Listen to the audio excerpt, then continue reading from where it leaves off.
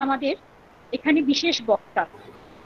আমাদের আমাদের এখানে উপস্থিত রয়েছেন আমাদের কলেজের মহামান্য অধ্যক্ষ ডক্টর চিত্তরঞ্জন দাস মহাশয়। এখানে উপস্থিত রয়েছেন আরও অন্যান্য বিভাগীয় শিক্ষক শিক্ষিকা মন্ডলী এবং আমাদের স্নেহের ছাত্রছাত্রীগণ। আমি সকলকে জানাই সাদর আমন্ত্রণ।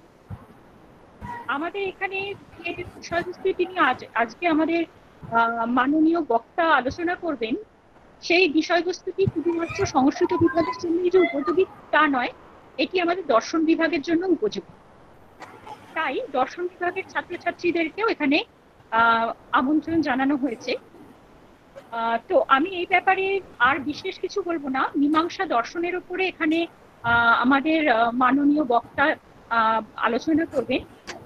আমি আর বিশেষ কিছু না বলে আমাদের মহামান্য অধ্যক্ষ মহাশয়কে এই অনুষ্ঠানটির শুভারম্ভ করবার জন্য অনুরোধ জানাই। নমস্কার। শুনতে পাচ্ছেন আমার কথা? শোনা যাচ্ছে তো? হ্যাঁ, শোনা যাচ্ছে। আচ্ছা। আজকে এই অনুষ্ঠানে আমি সর্বপ্রথমে ধন্যবাদ জানাচ্ছি পূর্ণিয়া ম্যাডাম এবং আজকে আয়োজক সংস্কৃত বিভাগকে। এখানে সমুপস্থিত সমস্ত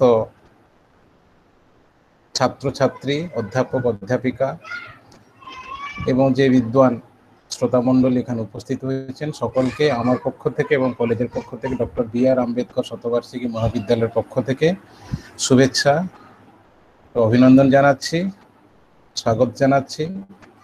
আজকে যিনি প্রবক্তা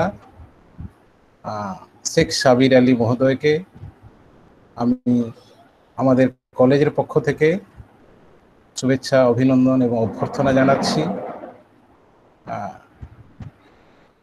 আজকে তিনি এই স্পেশাল লেকচারের প্রবক্তা। তার সঙ্গে আমার পূর্ব পরিচিতি আছে। তার সঙ্গে একসঙ্গে চার বছর বোর্ড অফ স্টাডিজে মেম্বার হিসেবে কাজ করার সৌভাগ্য পেয়েছিলাম।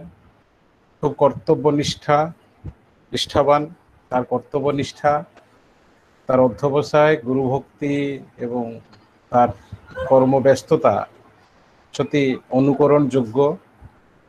সংস্কৃত সাহিত্যে বা সংস্কৃত ভাষায় যে স্বনামধন্য বিদ্বান রয়েছেন, তার মধ্যে নবীন হলেও সাবিরবাবু জ্ঞান ও বৃদ্ধত্বের পরিচয় দিয়েছেন। খুব সুন্দরভাবে, প্রাঞ্জলভাবে, সরলভাবে কঠিন বিষয়কে তিনি উপস্থাপন করতে পারেন। আমাদের ছাত্রছাত্রী যারা এখানে উপস্থিত রয়েছেন সংস্কৃত বিভাগের, তারা এখান থেকে স্নাতক কক্ষায় বা স্নাতক শ্রেণি পাশ করার পরে স্নাতকোত্তরে যখন বারাসাত বিশ্ববিদ্যালয়ে তারা ভর্তি হবে সাবির বাবুর সান্নিধ্য পাবে। সাবির বাবুর সঙ্গে ক্লাস করার সৌভাগ্য পাবে। হয়তো যদি কলেজ খোলা থাকতো, স্বাভাবিক থাকতো, সাবির বাবুকে পেতাম না আমরা এখানে এত দূরে যেতেন না হয়তো তিনি। কারণ তিনি যেভাবে ব্যস্ত থাকেন বিশ্ববিদ্যালয়ের বিভিন্ন কাজে, তাকে পাওয়া খুব মাঝে মাঝে দুঃসাধ্য হয়ে যায়। আমি ছাত্রদের উদ্দেশ্যে বলি বা আমাদের যে শিক্ষক, সংস্কৃত বিভাগের যে শিক্ষক, শিক্ষিকা রয়েছেন, আমাদের যে সিবিসি স্ট্রাকচারটা দেখছি সাবির বাবুর নিজের হাতে অনেক বিনিদ্র রজনী অতিবাহিত করে এই স্ট্রাকচারটা তৈরি করেছেন সংস্কৃত বিভাগের। এবং মোটামুটি তার হাতে দিয়ে এটা তৈরি হয়েছে। সুতরাং আজকে যে বিষয় আমরা দেখব, যে বিষয় আমরা সিবিসিএসে পাচ্ছি তার হাত দিয়ে তৈরি। দর্শন দর্শনের ছাত্র তিনি। সুতরাং শাস্ত্রান্তর জ্ঞানে, শাস্ত্রান্তর তাৎপর্য জ্ঞানে মীমাংসায় উপক্রম ন্যায়স্য উপযোগ বিমর্শ বিষয় নিয়ে আজকে যিনি আলোচনা করবেন, আমাদের যে ছটি লিঙ্গ আছে, উপক্রম, উপসংহার, অভ্যাস, অপূর্বতা, ফল, অর্থ, অর্থবাদ, উপপত্তি, তার মধ্যে তিনি উপক্রম নিয়ে আলোচনা করবেন এবং ছাত্রছাত্রীরা আশা করি খুব উপকৃত হবে এবং আমাদের যে অধ্যাপক, অধ্যাপিকারা, দর্শন বিভাগের অধ্যাপক, অধ্যাপিকারা রয়েছেন এখানে দেখছি, তারা খুব সুন্দরভাবে, তারা আশা করি তারা ভীষণভাবে উপকৃত হবে। আমাদের ছাত্রছাত্রীরা উপকৃত হবে। আর দর্শন বিভাগে কিন্তু ছাত্রছাত্রী রয়েছে দেখছি। অন্যান্য কলেজে যারা রয়েছে, তারা নিশ্চিতভাবে উপকৃত হবে। আর সকলের উদ্দেশ্যে আমার একটাই বক্তব্য, আপনারা সবাই সাবির বাবুর বক্তব্য চলাকালীন ভিডিও, অডিওটাকে মিউট রাখবেন যাতে মাঝখানে কোনো বিঘ্ন বা কোনো শব্দ প্রদূষণ বা দৃশ্য প্রদূষণ না হয়। আমরা যার বক্তব্য শোনার জন্য এখানে অপেক্ষা করছি, তারটাকে যাতে নির্বিঘ্নভাবে আমরা শুনতে পারি। আমি একটু হয়তো মাঝখানে বেরিয়ে যেতে পারি, কারণ আমাদের এই অ্যাডমিশনের জন্য একটু ওয়েবসাইট কাজ চলছে, তার জন্য আমাকে কিছু কিছু জিনিস এখান থেকে সাপ্লাই করতে হচ্ছে। তাও চেষ্টা করব পুরোটা থাকতে। সুতরাং আমি সকলের আবার সকলকে ধন্যবাদ জানাচ্ছি। আজকে অনুষ্ঠানের সাফল্য এবং সার্থক কামনা করে আমি ম্যাডামকে বলছি, ম্যাডাম, এবার আপনি আপনার অনুষ্ঠানটা চালিয়ে যান। ধন্যবাদ। ধন্যবাদ, স্যার। আজকে মাননীয় অধ্যক্ষ মহাশয় আমাকে অনেকটাই অনুপ্রেরণা দিয়েছেন, কারণ আজকে উনি সত্যি অত্যন্ত ব্যস্ত তা সত্ত্বেও উনি এখানে উপস্থিত। আমি ওনাকে ধন্যবাদ জানাই। আর ধন্যবাদ জানাই আমাদের IQAC madam, Ata madam Ata Mallik madam, যিনি আমাকে সব সময় অনুপ্রেরণা দেন এবং সব সময় আমাকে সাহায্য করেন। তাকেও ধন্যবাদ জানিয়ে আমি আমাদের মাননীয় অতিথি বিশেষ বক্তা আমাদের মধ্যে, উনার সম্পর্কে অলরেডি আমাদের অধ্যক্ষ মহাশয় বলে দিয়েছেন। আমি উনাকে আমন্ত্রণ জানাই এখানে উনার বক্তব্য বলার জন্য।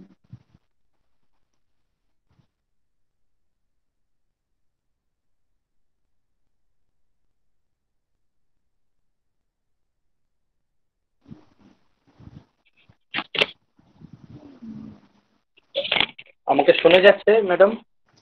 হ্যাঁ হ্যাঁ শোনা যাচ্ছে।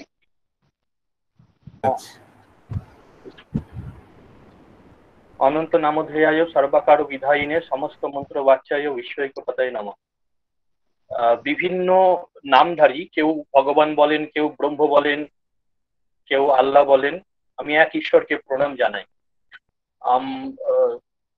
আমাদের ইউজি বোর্ড অফ স্টাডিজ আগের একটি চার বছরের একটা বোর্ড অফ স্টাডিজ ছিল, সেখানে ইউজি রিলেটেড কিছু অফিসিয়াল কর্মকাণ্ড নির্বাহ করা হতো। এবং সেইখানে যে চার পাঁচজন আমরা মেম্বার ছিলাম যার হাতে আমরা কার্যভার নিঃসন্দেহে এবং অত্যন্ত ভরসার সঙ্গে অর্পণ করে হলেও যদি আমরা অন্য কর্মে আবার নিযুক্ত হতে যেতাম অনায়াসে যেতে পারতাম। এইরকম একজন ব্যক্তি হচ্ছেন চিত্তরঞ্জন বাবু। এবং যে কটা বোর্ড অফ স্টাডিজ এর মিটিং হয়েছে, প্রত্যেকটিতেই আমার মনে আছে উনি উপস্থিত ছিলেন। এবং মিটিং শুরু হয়ে যাওয়ার প্রায় অনেকক্ষণ আগে থেকে তিনি উপস্থিত থাকতেন। কখনো এমনও হয়েছে যে আমাদের তরফ থেকে হয়তো উপস্থিত হতে একটু দেরি হয়েছে, কিন্তু উনি অনেক আগে থেকে উপস্থিত হয়ে যেতেন এবং যখন এক্সামিনার পেপার সেটার বিভিন্ন ঠিক করা হতো, আমরা তো জানি না যে নতুন নতুন কোন টিচার জয়েন করছেন কলেজগুলিতে কিন্তু ওনার একটা ডায়েরি উনি মেনটেন করতেন, পুঙ্খানুপুঙ্খভাবে প্রত্যেকের নাম এবং ফোন নাম্বার ওনার কাছে সব রাখা থাকতো। গত মিটিং এ কি আলোচনা হয়েছে সেগুলোরও নথি ওনার কাছে খুব প্রিজার্ভেশন করে রাখতেন। এই সমস্ত দিকগুলো দেখে অত্যন্ত অ্যাডমিনিস্ট্রেশনের দিক থেকে অত্যন্ত নিপুণ এবং পাংচুয়াল একজন মানুষ এবং মানুষ বললাম, হৃদয়ের দিক থেকে অত্যন্ত কাছাকাছি, যাকে খোলামেলা ভাবে আমরা কিছু বলতে পারতাম, সাহস করতাম। নিতান্তই আমি বয়সের ছোট নি বড়, কিন্তু সেই রকম অ্যাপ্রোচ করা যায়। নির্ভয়ে তাকে অনেক কিছু কথা বলা যায়। এমন একজন ব্যক্তি, তিনি আজকে একটা কলেজে বি আর আম্বেদকর শতবার্ষিকী মহাবিদ্যালয়ের অধ্যক্ষ, প্রিন্সিপাল মহাশয়। সুনিপুণ ব্যক্তির হাতে এই কলেজের দায়িত্বভার অর্পণ করা হয়েছে। আজকে এইভাবে সেমিনারের মধ্য দিয়ে ওনার পরোক্ষ অনুমতি বা সাক্ষাৎ অনুমতিতে যে এখানে আপনাদের সঙ্গে এসে বসেছি, তার জন্য নিজেকে ধন্যবাদ ধন্য বলে মনে করি। আপনাদের সেই আপনাদেরকে ধন্যবাদ জানাই এবং ধন্যবাদ জানাই এই ডিপার্টমেন্টের যিনি এইচওডি, পূর্ব পরিচিতি ছিল না, কিন্তু এই সেমিনারের বা ওয়েবিনারের সূত্র ধরে নিয়তভাবে যোগাযোগ রাখা যখন যে মেটেরিয়ালটি দরকার বা যে ইনফরমেশনটি আমার কাছে সার্কুলেট করার দরকার, ঠিক সেই রকম পুঙ্খানুপুঙ্খ ভাবে তিনি বহন করেছেন। তাকেও ধন্যবাদ জানাই এবং ডিপার্টমেন্টের মৌমিতা যদিও বারাসাত স্টেট ইউনিভার্সিটিতে পড়েছে, সেই দিক থেকে ছাত্রী তুল্য, ছাত্রীই বটে, তুল্য নয়, ছাত্রী। অনেকে সদ্য চাকরি পেয়ে নিজেকে তার পূর্ব প্রেক্ষাপট অনেকে ভুলে যেতে চান, ভুলে যানও বটে। কিন্তু হঠাৎ করে অপরিচিত একটি ফোন আসে, সে নিজেকে মৌমিতা বলে পরিচয় দেয়। অনেক মৌমিতা প্রত্যেক ব্যাচেই থাকে। তার সে যখন পরিচয় দেয় এবং আগেও যোগাযোগ ছিল, বলে যে এমফিল করছে যাদবপুর ইউনিভার্সিটিতে এমফিল তার করা হয়েছে, সদ্য চাকরি পেয়েছে। সে যে তার একান্ত অনুরোধে এবং সে যে আমাকে ক্লাসে পেয়েছে, এই কথার খাতিরে আমাকে সে ক্লাসের পড়া শুনতো এইরকম করে গুছিয়ে গুছিয়ে রেডি করতো। এই দিক থেকে আমাকে খুব আন্তরিকভাবে আহ্বান জানায় তাই টিচার হয়েও যে পূর্বের প্রেক্ষাপট সে মনে রেখেছে, সে কৃতজ্ঞতাকে বজায় রেখেছে তার সেই জন্য তাকেও ধন্যবাদ জানাই। সকল বড় হবে। এবং এখানে যে আইকিউএসি ডিপার্টমেন্ট রয়েছে, সেখানের যারা কর্মকর্তা রয়েছেন, তাদের সকলের সহযোগিতাতে এই অনুষ্ঠান সম্পন্ন হচ্ছে। অন্যান্য তাদের ধন্যবাদ জানাই। এখানে যারা ছাত্রছাত্রীরা রয়েছে, একান্তই তাদের জন্যই এই ডিপার্টমেন্টাল সেমিনার এবং সংস্কৃত এবং ফিলোসফি এই দুই ডিপার্টমেন্টের তরফ থেকে বা ডিপার্টমেন্টের টিচাররা এখানে উপস্থিত আছেন, তাদেরকে ধন্যবাদ জানাই। এবং আমি অন্যান্য যারা শত্রুবৃন্দ রয়েছেন, তাদেরকে শুভেচ্ছা জানিয়ে মীমাংসা, মীমাংসায়া উপক্রম ন্যায়শ্চ উপযোগ বিমর্শ শাস্ত্রান্তর তাৎপর্য জ্ঞানে এটি বিষয় মাস্কৃত কিঞ্চিত ভক্ত উৎসাহে এখানে টপিকটা দেখলে পরেই তিনটে বিষয় আমাদের সামনে উপস্থিত হয়। একটা মীমাংসা আর একটা হচ্ছে উপক্রম ন্যায় এবং আরেকটি হচ্ছে, উম শাস্ত্রান্তর, অন্য শাস্ত্রেতে তার কি অ্যাপ্লিকেশন এই তিনটি বিষয় আমরা এখানে বলব। প্রথমেই মীমাংসা যেহেতু একটি দর্শন, মীমাংসা সেই দর্শন, ভারতীয় দর্শন সম্প্রদায়ের ঠিক কোন জায়গাতে বিরাজ করে, সেই দিক থেকে আমরা বলব যদি এটা আমাদের সকলেরই প্রায় জানা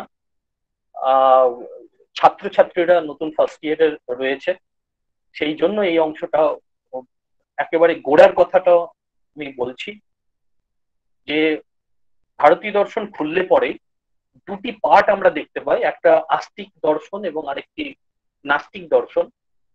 এবং সেই আস্তিক দর্শনের এই এই যে বিভাজন, এই বিভাজনের যে প্যারামিটার, কোন কেন্দ্রবিন্দুকে অবলম্বন করে দুটি দলে তাদেরকে বিভক্ত করা হয়েছে সেখানে আস্তিক এবং নাস্তিক শব্দটির যদি টুকরো করে ভেঙে তার অর্থ বুঝি, তাহলেই সেটা বোঝা যাবে। আস্তিক শব্দটিকে ভাঙলে দুটি পার্টিকেল পাওয়া যায়, একটা অস্থি এবং একটি থপ অস্থি এটাকে সংস্কৃতে তাকে ধাতু বলা হয়। ধাতু মানে যে ধরে রাখে, কি ধরে রাখে? যে শব্দের অর্থটাকে ধরে রাখে, তাকে ধাতু বলে। অস এই অস্থি, এইরকম না, অস্থি একটি শব্দ এখানে, আহ, অস্থি ধাতু নয়, অস, অস্থির মধ্যে যে অস ধাতু রয়েছে, সেটি ধাতু, কিন্তু অস্থি এটি একটি শব্দ এবং এটাকে প্রকৃতি বলে। তারপরে একটি প্রত্যয় রয়েছে, ঠক প্রত্যয়, এটিকে সাফিক্স বলে। এই যে অস্থি শব্দ এবং ঠক প্রত্যয়, এই দুটোর সম্মিলিত অর্থ যদি গ্রহণ করি, তবে আমরা আস্তিক শব্দের অর্থটা পাই। অস্থি শব্দের অর্থ হচ্ছে যে আছে, আর ঠক প্রত্যয়ের অর্থ হচ্ছে যে মতি। আমরা একটি পানিনীয় সূত্র পাই, এই ঠক প্রত্যয় কোন কোন শব্দের পরে যুক্ত হবে, তার মধ্যে একটি রেগুলেশন রয়েছে, অস্থি নাস্তি দৃষ্টং মতিহি। অস্থি নাস্তি, এই যে সূত্রেতে দুটি শব্দকে তিনি সংগ্রহ করেছেন, এবং দৃষ্ট। অস্থি শব্দের পরেতে ঠক প্রত্যয় হয় নাস্তি শব্দের পরেতে ঠক প্রত্যয় হয়। তা আমরা এখানে দুটো শব্দ দেখছি আস্তিক অস্থি প্লাস ঠ নাস্তি প্লাস ঠ ঠক প্রত্যয়ের অর্থ কি? কখন আমি ওই শব্দগুলির পরেতে এই প্রত্যয়টি যুক্ত করব? তার বক্তব্য, তার ওখানে সূত্রেতে একটা শব্দ রয়েছে, মতিহি। অস্থি, নাস্তি, দৃষ্টাং, মতিহি। মতিহি, মতি মানে হচ্ছে যে মন, মতি মানে হচ্ছে যে জ্ঞান মতি মানে হচ্ছে যে বিশ্বাস। তার মানে অস্থি মানে আছে আর ঠক মানে বিশ্বাস বা জ্ঞান আছে। এই বিষয়ে যাদের বিশ্বাস আছে, এই বিষয়ে যাদের জ্ঞান আছে, অস্থি, ইত্যত্র বিশ্বাস তে আস্তিকা। আছে এটুকু যারা বলেন, এটুকু যারা বিশ্বাস করেন, তারা হচ্ছে নাস্তিক একই রকম নাস্তি মানে নেই, ঠক মানে হচ্ছে যে, বিশ্বাস, জ্ঞান নাস্তি ইত্যত্র মতিহি ইয়ে শান্তে নাস্তিকা।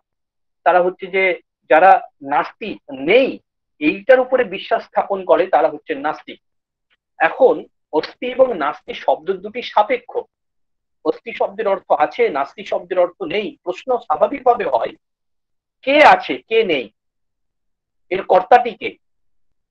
তার উত্তরে আমাদের লোকবিশ্বাসের দিক থেকে যদি দেখি, আমরা লোক সমাজে এটা লক্ষ্য করি আস্তিক বলতে ধার্মিক ব্যক্তিকে বলে, নাস্তিক বলতে অধার্মিক ব্যক্তিকে বলে। সাধারণত লোক সমাজে আমরা দেখি যে ব্যক্তি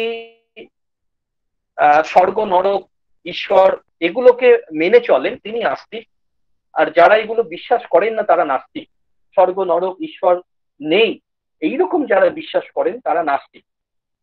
কিন্তু দর্শন সংঘেতে আমরা এই রকম অর্থ ধরবো না।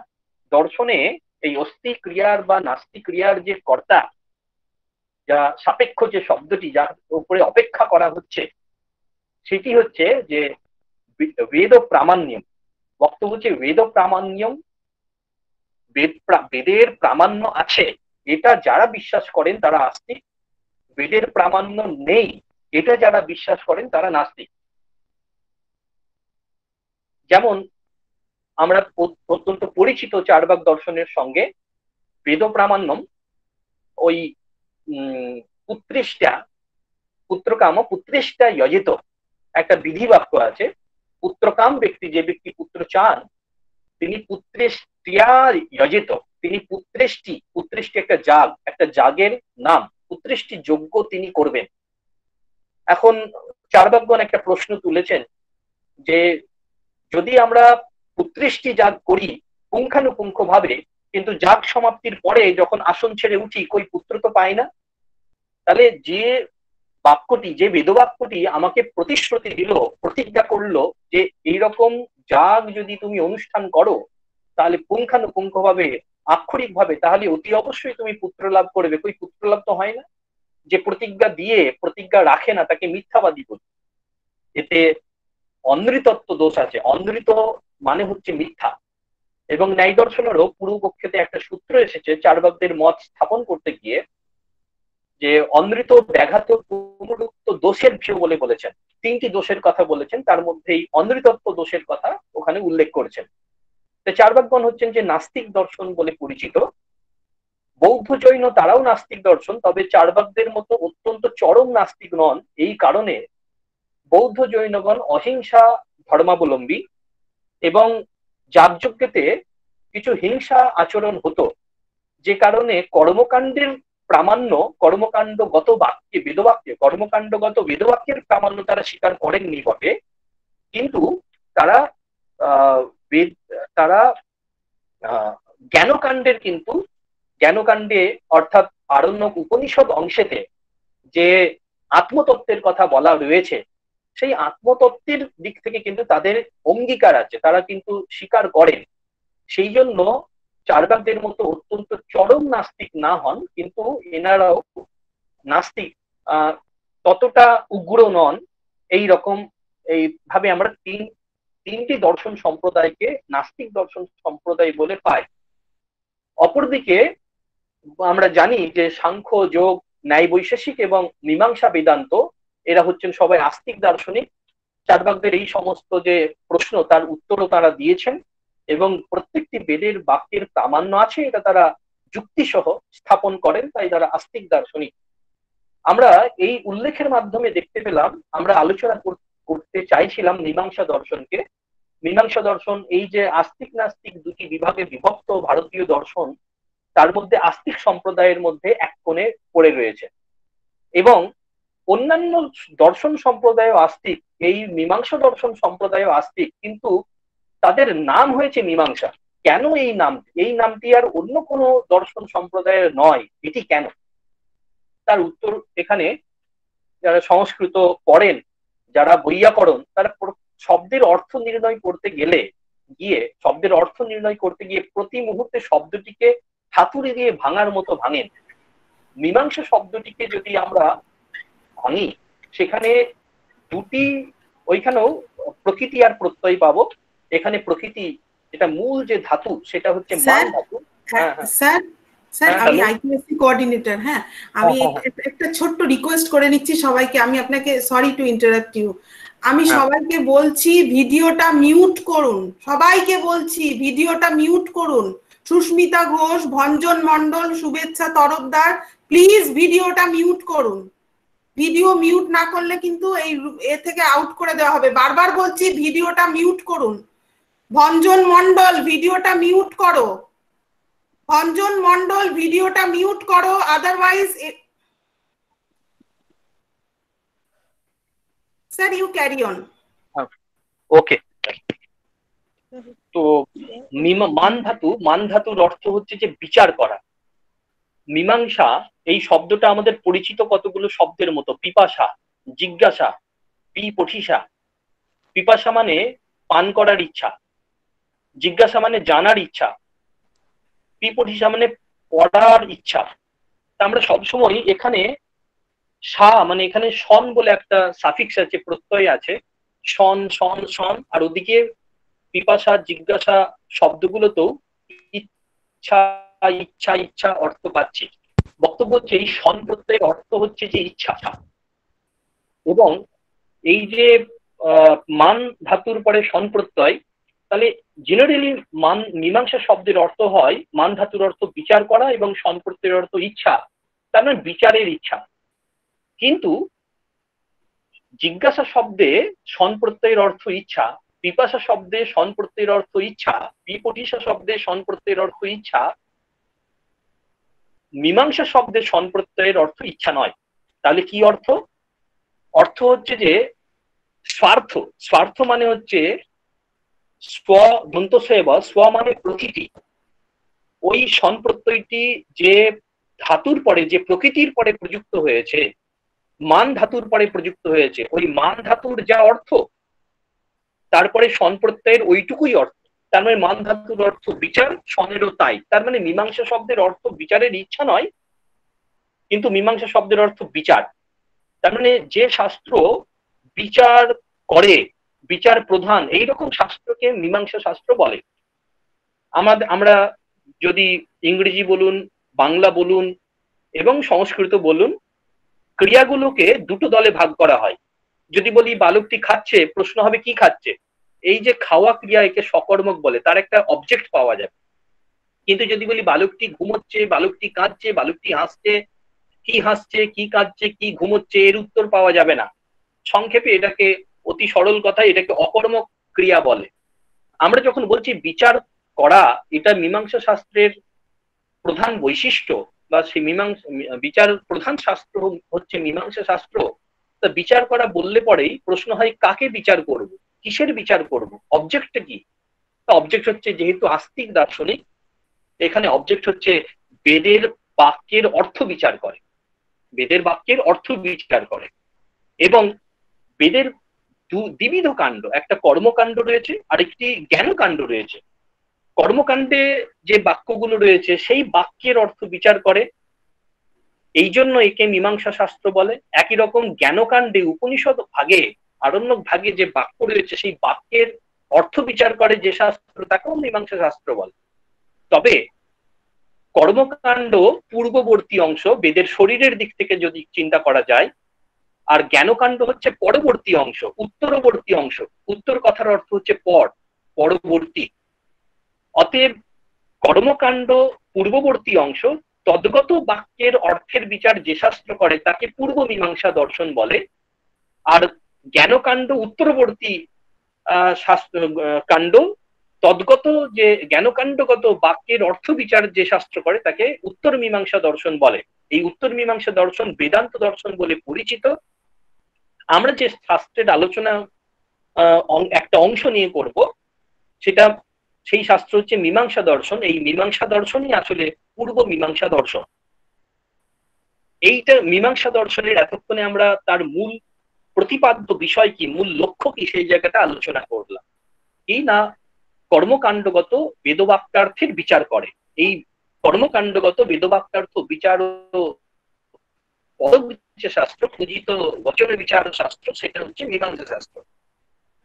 এর একটা উদাহরণ আমরা পরে দেখব, কিন্তু কোন শাস্ত্র তার শরীরের দিক থেকে তার কলেবর বৃদ্ধি করে যায়। আস্তে আস্তে যেমন আমরা বাড়ি তৈরি করি একটা মাটি ভিত দিই ভিতের উপরে একতলা হয়, একতলার উপরে দোতলা হয়, দোতলার উপরে তিনতলা হয়। একটা প্রাসাদ তৈরি হয়। একই রকম মীমাংসা শাস্ত্রেরও একটা প্রারম্ভিক ভিত রয়েছে। যে কোনো শাস্ত্রের প্রারম্ভিক ভিত হচ্ছে সূত্র। জৈমিনী মীমাংসা সূত্র রচনা করেন। এবং সেই সূত্র গ্রন্থ বারোটি অধ্যায়ে বিভক্ত। এ কারণে এর আরেকটি নাম হচ্ছে দ্বাদশ লক্ষণী। লক্ষণ কথার অর্থ হচ্ছে যে অধ্যায়, যেখানে বারোটি অধ্যায় রয়েছে। দ্বাদশ লক্ষণী।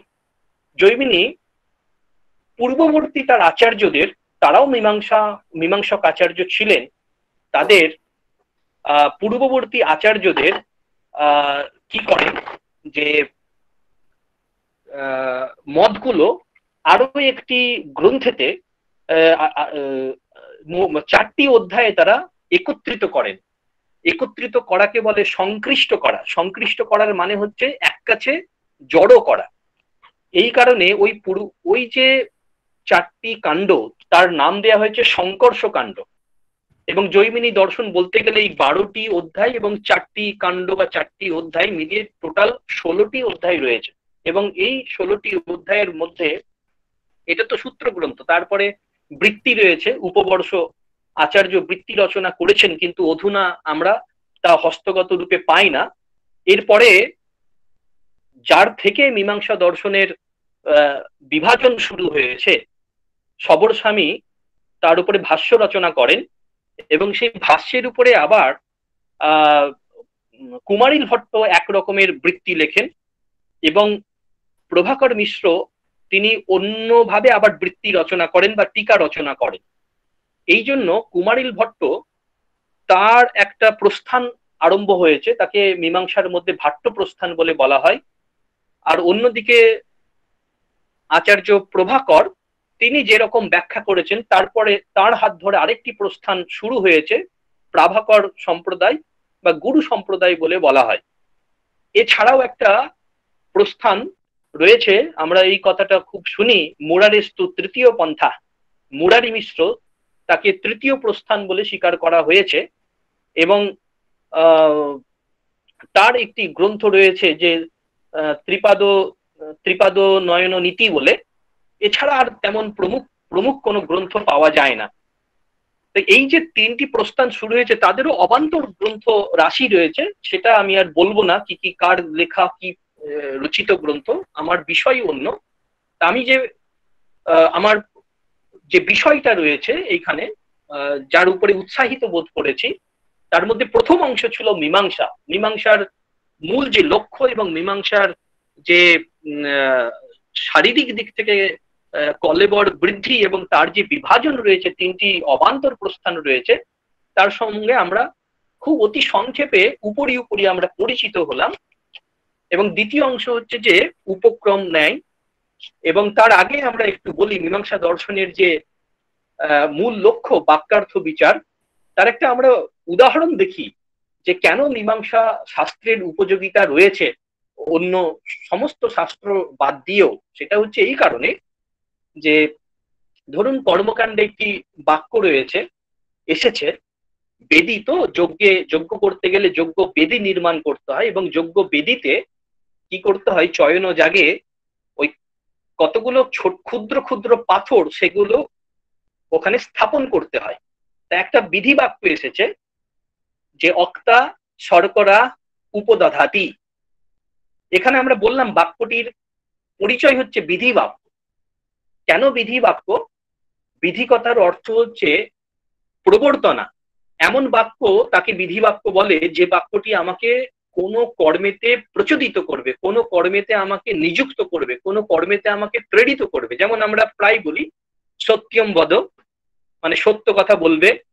তো সত্য কথা বলবে এই যে একজন কেউ আমাকে প্রেরিত করছে, কোন কর্মে, কি কর্ম? না সত্য বদনে, সত্য কথনে আমাকে প্রেরিত করছে। তাই সত্যম বদ, তুমি সত্য কথা বলবে, তোমার বলা উচিত, সত্য কথা বলো। এইগুলো হচ্ছে বিধি বাক্য প্রেরিত করছে একজন আরেকজনকে কোনো কর্মে প্রযুক্ত করছে।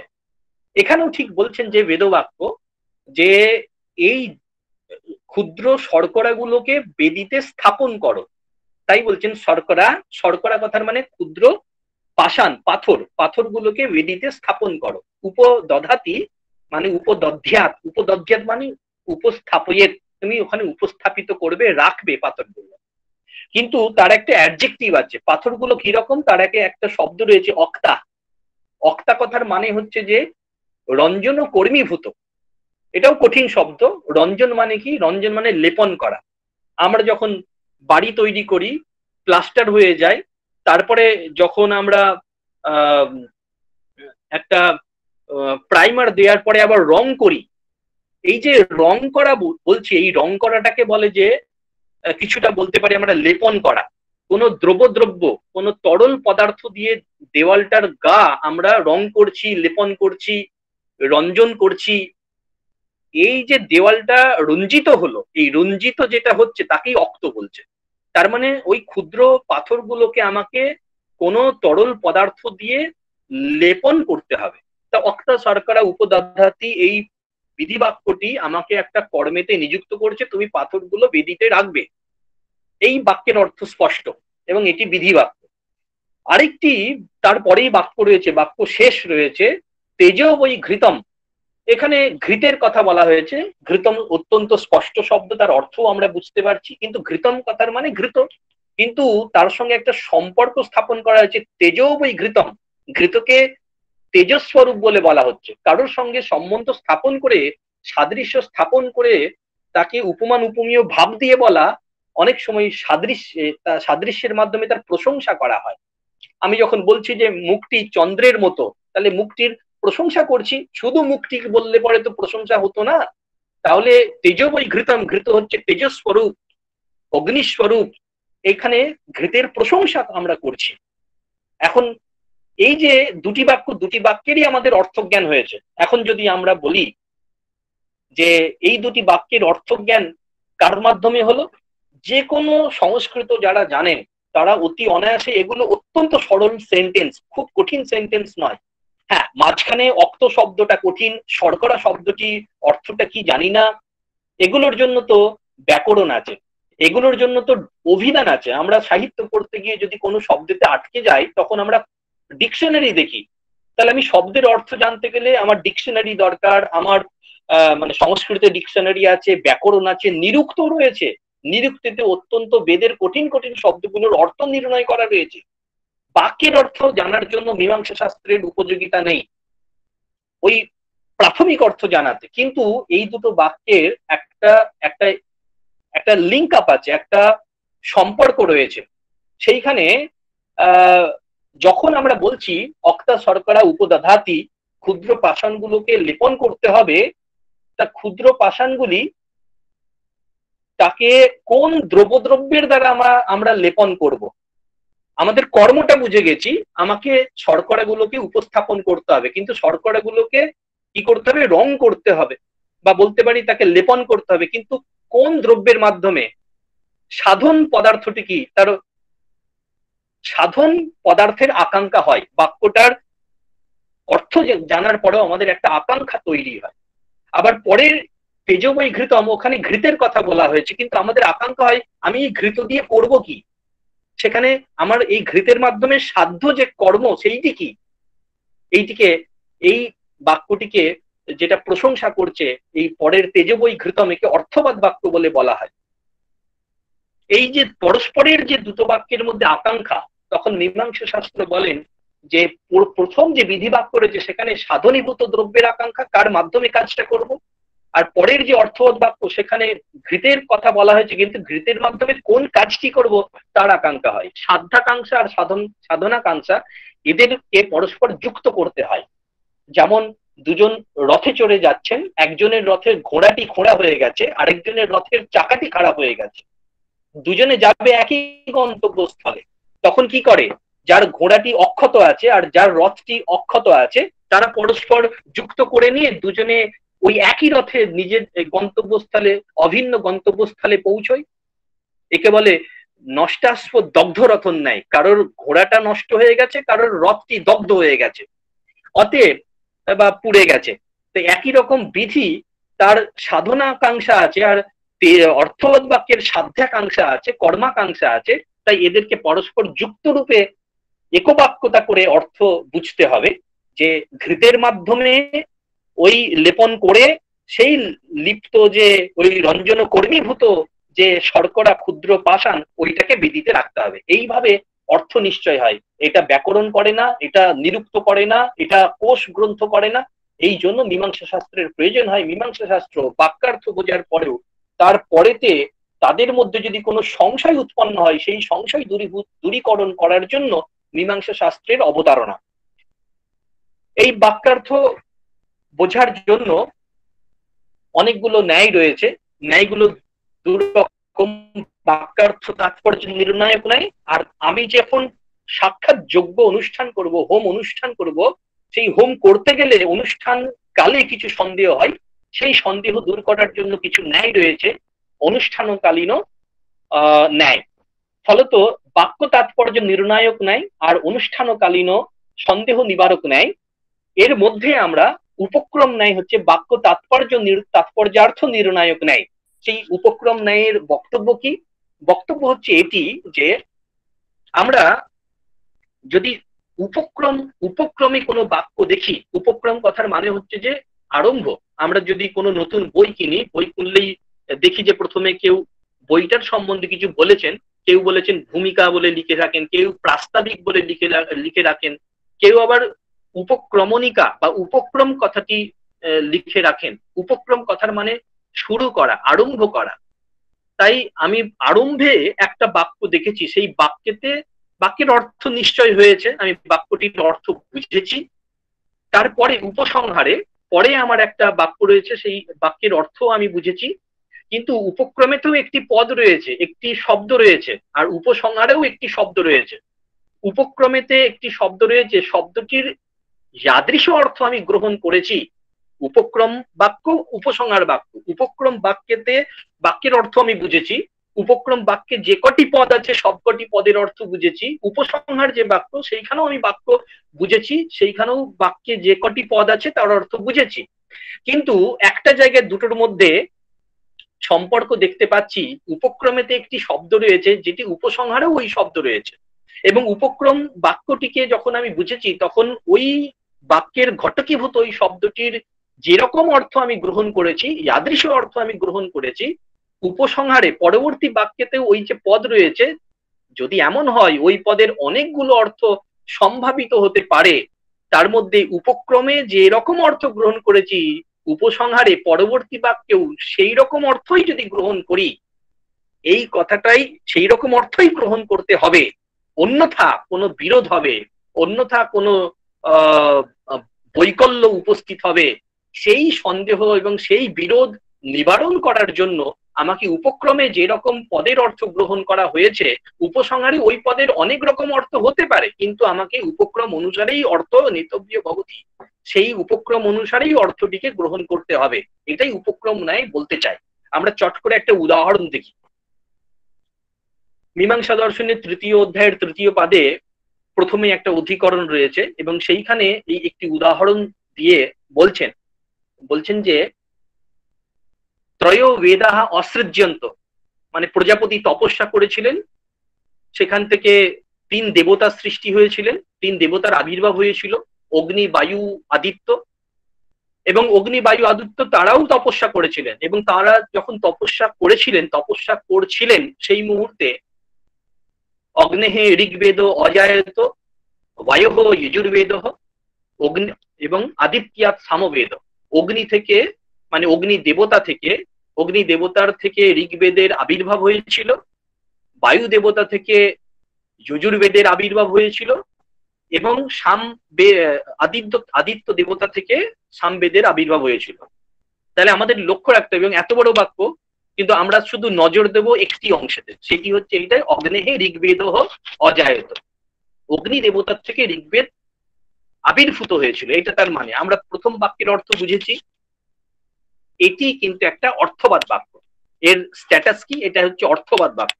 কেন অর্থবাদ বাক্য? অর্থবাদ বাক্য আগেও আমরা আলোচনা করেছি। বক্তব্য হচ্ছে বিধি বাক্যের যে অর্থ, সেই বিধি বাক্যের অর্থ, যারা যে বাক্য প্রশংসা করে বা নিন্দা করে করে বিধি বোধিত যে কর্ম, সেই কর্মেতে আমাকে প্রেরিত করে। লক্ষ্য কিন্তু বিধির বোধিত যে কর্ম, সেই কর্মেতে প্রেরিত করা। কিন্তু অর্থবাদ বাক্য কি করে? ডিরেক্টলি প্রেরিত করে না। আমাকে প্রশংসা করে বা নিন্দা করে, প্রশংসা করে প্রেরিত করে বা নিন্দা করে ওই কর্ম থেকে নিবৃত্ত করে। যেমন যদি বাবা আমাকে বলেন যে পরীক্ষা আসছে পড়তে বস, সকাল সকাল উঠে পড়তে বস। গত বছরে মাধ্যমিকে ও সকাল সকাল উঠে পড়তে বসতো টানা অন্য কোনো দিকে মন না দিয়ে পাশের বাড়ির শ্যামল, সে অনেক নাম্বার পেয়েছে। তাহলে আমাকে বাবা বললেন যে পড়তে বস, এটা কিন্তু উনি কর্মেতে প্রচোদিত করলেন। বা সত্য কথা সত্যম বদ, তুমি সত্য কথা বলো, এটা আমাকে সাক্ষাৎ সত্য কথনে প্রচোদিত করা হচ্ছে এটা বিধিবাক কিন্তু যদি বলেন, সত্য কথা বললে যদি মানে মুখ থেকে যদি কখনো অজান্তে কোনো কথা বেরিয়েও যায়, সেটাও সত্য হয়ে যায়। এর দ্বারা কিছু প্রশংসা করা হলো। তার মানে আমাকে পরোক্ষভাবে সত্য কথা বলাতে উৎসাহিত করা হচ্ছে। একই রকম এখানে শুধু ঋগ্বেদের কথা বললে, যজুর্বেদের কথা বললে, সামবেদের কথা বললে হতো, কিন্তু তাদের সঙ্গে দেবতা সম্পর্ক স্থাপিত করা হচ্ছে। ঋগ্বেদ কোথা থেকে আবির্ভূত হয়েছে? অগ্নেহে, অগ্নি দেবতা থেকে। অগ্নি দেবতার সাথে সম্বন্ধ স্থাপন করা হচ্ছে। অতএব তার মর্যাদা বেড়ে গেল। এখানে এটা প্রশংসা করছে। অতএব এটা হচ্ছে যে অর্থবাদ বাক্য। এর পরে একটি বাক্য রয়েছে, যেটা বিধি বাক্য, সেখানে বলছেন যে উচ্চই রিচা রিচা ক্রিয়ন্তে উচ্চই ওই রিচা ক্রিয়ন্তে। মানে ঋক মন্ত্রগুলো, ঋক বেদের দ্বারা যখন আমি কোনো উচ্চারণ করব, কোনো কর্ম করব, তখন ওই মন্ত্রগুলো, ওই ঋগ্বেদীয় অংশগুলো উচ্চই উচ্চই মানে উচ্চ স্বরে আমাকে উচ্চারণ করে করতে হয়। আমি যখন মন্ত্র পাঠ করব, তখন উচ্চস্বরে মন্ত্র পাঠ করব। তারপরে আছে উপাংশু যজুষা। যজুর বেদের যদি কিছু আমি অংশ আমরা উচ্চারণ করি, তখন কিন্তু উপাংশু উপাংশ কথার মানে হচ্ছে যে বাইরে শুনতে পাবে এমন ভাবে উচ্চারণ না করা। আমরা যেমন জপ করি, জপ করার সময়ে মনে মনে উচ্চারণ করি, ইষ্ট দেবতা বা কেউ ইষ্ট আল্লাহ কারোর নাম নেয়, অন্য কেউ পাশে শুনতে পায় না। অতএব এইটাকে উপাংশ উচ্চারণ বলে। আবার সামবেদের ক্ষেত্রে বলছে, উচ্চই সামনা, যখন সামবেদের কোনো অংশের মাধ্যমে কোনো কর্ম করা হবে, তখন সে সাম মন্ত্রগুলোকে সামবেদী অংশকে উচ্চস্বরে উচ্চারণ করবে। তাহলে এই যে পরের বাক্যেরও আমরা অর্থ বুঝতে পারলাম। কিন্তু এখন একটা প্রশ্ন হচ্ছে এইটাই, প্রথমে যে বাক্য রয়েছে, অগ্নেহে ঋগ্বেদ অজায়ত, ওইখানে ঋক শব্দটি রয়েছে। পরে এই যে অর্থবাদ বাক্য রয়েছে উচ্চই ওই রিচা ক্রিয়ান্তে, এই যে রিচা ক্রিয়ান্তে রিচা এর মূলে শব্দ হচ্ছে ঋক। এখন ঋক শব্দের অর্থ কি?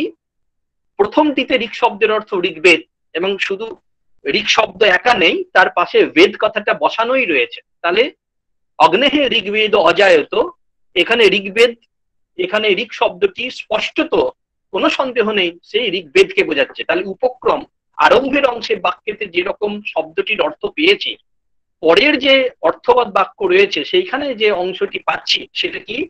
সেটা হচ্ছে যে রিচা ক্রিয়ান্তে রিচা কেন প্রকারেণ ক্রিয়ান্তে না উচ্চহি ক্রিয়ান্তে? ঋক মন্ত্রের দ্বারা উচ্চেশ্বরে আমরা কোনো কর্ম করব, উচ্চারণ করব। এখন এই ঋক শব্দর অর্থটা কি? ঋক শব্দের অর্থ হচ্ছে যে ঋগ্বেদ। ঋক শব্দের অর্থ হচ্ছে ঋগ্বেদ।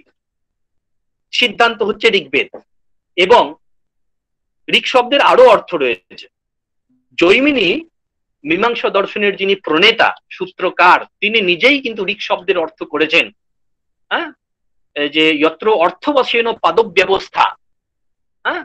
সারিক তাকে ঋক বলে, তাকে মন্ত্র বলে, যেখানে অর্থ থাকবে, অর্থ অনুসারে কিন্তু অক্ষরগুলোর একটা পাদ ব্যবস্থা থাকবে। পাদ ব্যবস্থা মানে আমি যে বক্তব্যটা চার লাইনে আমি বলছি, মন্ত্রের তিনটি বা চারটি পংক্তি হয়, তার প্রত্যেকটি পংক্তিতে অক্ষর সংখ্যা সমান, অক্ষর সংখ্যা সমান। ছন্দ মেপে মেপে লেখা এবং কোনো বক্তব্য, কোনো রচনা যদি ছন্দবদ্ধ হয়, তাকে পদ্য বলে। আমরা বাংলাতে জল পড়ে পাতা নড়ে, দলবৃত্ত ছন্দ মাত্রা কিন্তু এক থাকতে হবে। সংস্কৃতে যিনি কবিতা লেখেন, সেখানে এই যে শ্রীমদ ভগবত গীতা, অনুষ্টুপ ছন্দে লেখা, ধর্মক্ষেত্রে কুরুক্ষেত্রে সমবেতা ইউটিউৎসব এই যে ধর্মক্ষেত্রে কুরুক্ষেত্রে মিলিয়ে দেখুন স্বরবর্ণ আটটা রয়েছে। পরের বাক্যে, সমবেতা ইউজুৎসব এখানেও আটটা রয়েছে। সংস্কৃতে কবিতা লেখা খুব কঠিন। আমার ভাবনাটা ওই প্রত্যেকটা চারটে লাইনে প্রথমটিতেও আটটি স্বরবর্ণ, দ্বিতীয়টিতেও আটটি স্বরবর্ণ, এটা শুধু অনুষ্টুপের কথা বললাম, এরকম হাজারো ছন্দ রয়েছে, লক্ষ লক্ষ ছন্দ রয়েছে, কোটিশো ছন্দ রয়েছে। ফলত এই পাদব ব্যবস্থা করে লেখা যে রচনা, তাকে মন্ত্র বলে, তাকে ঋক বলে। তাহলে ঋক কথার একেবারে অর্থ হচ্ছে পদ্য অংশ বেদের। ঋক কথার অর্থ হচ্ছে একেবারেই মন্ত্র। আর যজু মানে হচ্ছে গদ্য ভাগ যজু কথার অর্থ হচ্ছে গদ্য ভাগ আর সাম কথার মানে কি? সাম মানে হচ্ছে এটাই যে গীতিসু সামাখ্যা। ওই মন্ত্রগুলোই যদি আমি গীতি সহযোগে গান পূর্বক উচ্চারণ করি, তাহলে তাকে সাম বলে বলে। তাহলে আমাদের অন্যগুলোর দিকে নজর দিচ্ছি না। আমাদের দরকার হচ্ছে ঋকের ওপরে। তাহলে ঋক কথার দুটি অর্থ, একটা ঋগ্বেদ ঋক কথার আরেকটি অর্থ হচ্ছে যে মন্ত্র। এখন দেখুন, যদি বলি যে রিচা ক্রিয়ন্তে উচ্চই, এটার মানে কি? যদি ঋগ্বেদ ধরি, তার মানে হবে যে শুধুমাত্র ঋগ্বেদ মানে যজুর্বেদ নয়, সামবেদ নয় অন্য বেদ নয়, ঋগ্বেদের যাবতীয় উচ্চারণের ক্ষেত্রে, অংশের উচ্চারণের ক্ষেত্রে আমাকে উচ্চস্বরে উচ্চারণ করতে হবে। এটা একটা অর্থ। এখানে আপনি যদি ঋগ কথার অর্থ মন্ত্র ধরেন, এবং মন্ত্র মানে সেই মন্ত্র শুধু ঋগ্বেদেই আছে তা নয়, যজুর্বেদে অনেক মন্ত্র আছে, সামবেদে অনেক মন্ত্র আছে তাহলে মন্ত্রের উচ্চারণ যখন করব, সেটা যে বেদেরই হোক, ঋকরে হোক যজুরও হোক, স্বামীর হোক, তাহলে তাকে আমি উচ্চেশ্বরে উচ্চারণ করব। এখানেই ঋক শব্দের অর্থ কেবল মন্ত্র পরক অর্থ গ্রহণ করলে অন্যরকম অর্থ ব্যাপক অর্থ গৃহীত হবে। ঋক শব্দের অর্থ কেবল ঋগ্বেদ অর্থ গ্রহণ করলে একটা সংকুচিত অর্থ গৃহীত হবে। এইখানেই প্রশ্ন, আমি ঋক শব্দের কীরকম অর্থ গ্রহণ করব? সেইখানে বলছেন, উপক্রমে যেহেতু আমরা ঋগ্বেদ এখানে স্পষ্টত বোঝা যাচ্ছে, ঋগ্বেদ এই অর্থ গ্রহণ করা হয়েছে, তাই পরবর্তী উপসংহার বাক্যেতেও আমরা ঋগ্বেদ এই রকম অর্থই গ্রহণ করব। এবং তাতে হবে কি? তাতে বিধি এবং অর্থবাদ বাক্যের একটা সমান বিষয়কতা বর্তমান থাকবে। সেই সুবিধা হবে। যদি আমরা ধরে নিই ঋক শব্দের অর্থ মন্ত্র অর্থ, তাহলে অনেক সমস্যার সম্মুখীন হতে হবে, অনেক বিরোধের সম্মুখীন হতে হবে। কি বিরোধ? বিরোধ এইটি, এক্ষুনি বললাম বিধি বাক্য এবং অর্থবাদ বাক্যের একটা লিঙ্ক আপ আছে। এবং এই একবাক্যতা একই বিষয়কে নিয়ে যদি বলে, যেমন ঘৃতের দ্বারা কাকে আমি লিপ্ত করব? ঘৃতের দ্বারা আমরা ওই ক্ষুদ্র পাষাণকে, শর্করাকে লিপ্ত করব। আর আমি বেদিতে কাকে রাখব? ওই শর্করাকে রাখব। তাহলে দেখুন, শর্করা হচ্ছে মিডিয়েটর শর্করা বিধি বাক্যে উপস্থিত, অর্থবাদ বাক্যেরও কিন্তু কানেকশন শর্করার সঙ্গে।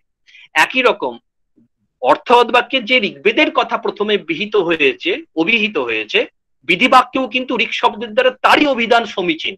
অন্য অর্থ যদি গ্রহণ করা হয়, তাহলে তাদের মধ্যে কোনো কানেকশন থাকবে না। কানেকশন না থাকলে বাক্যতা থাকে না।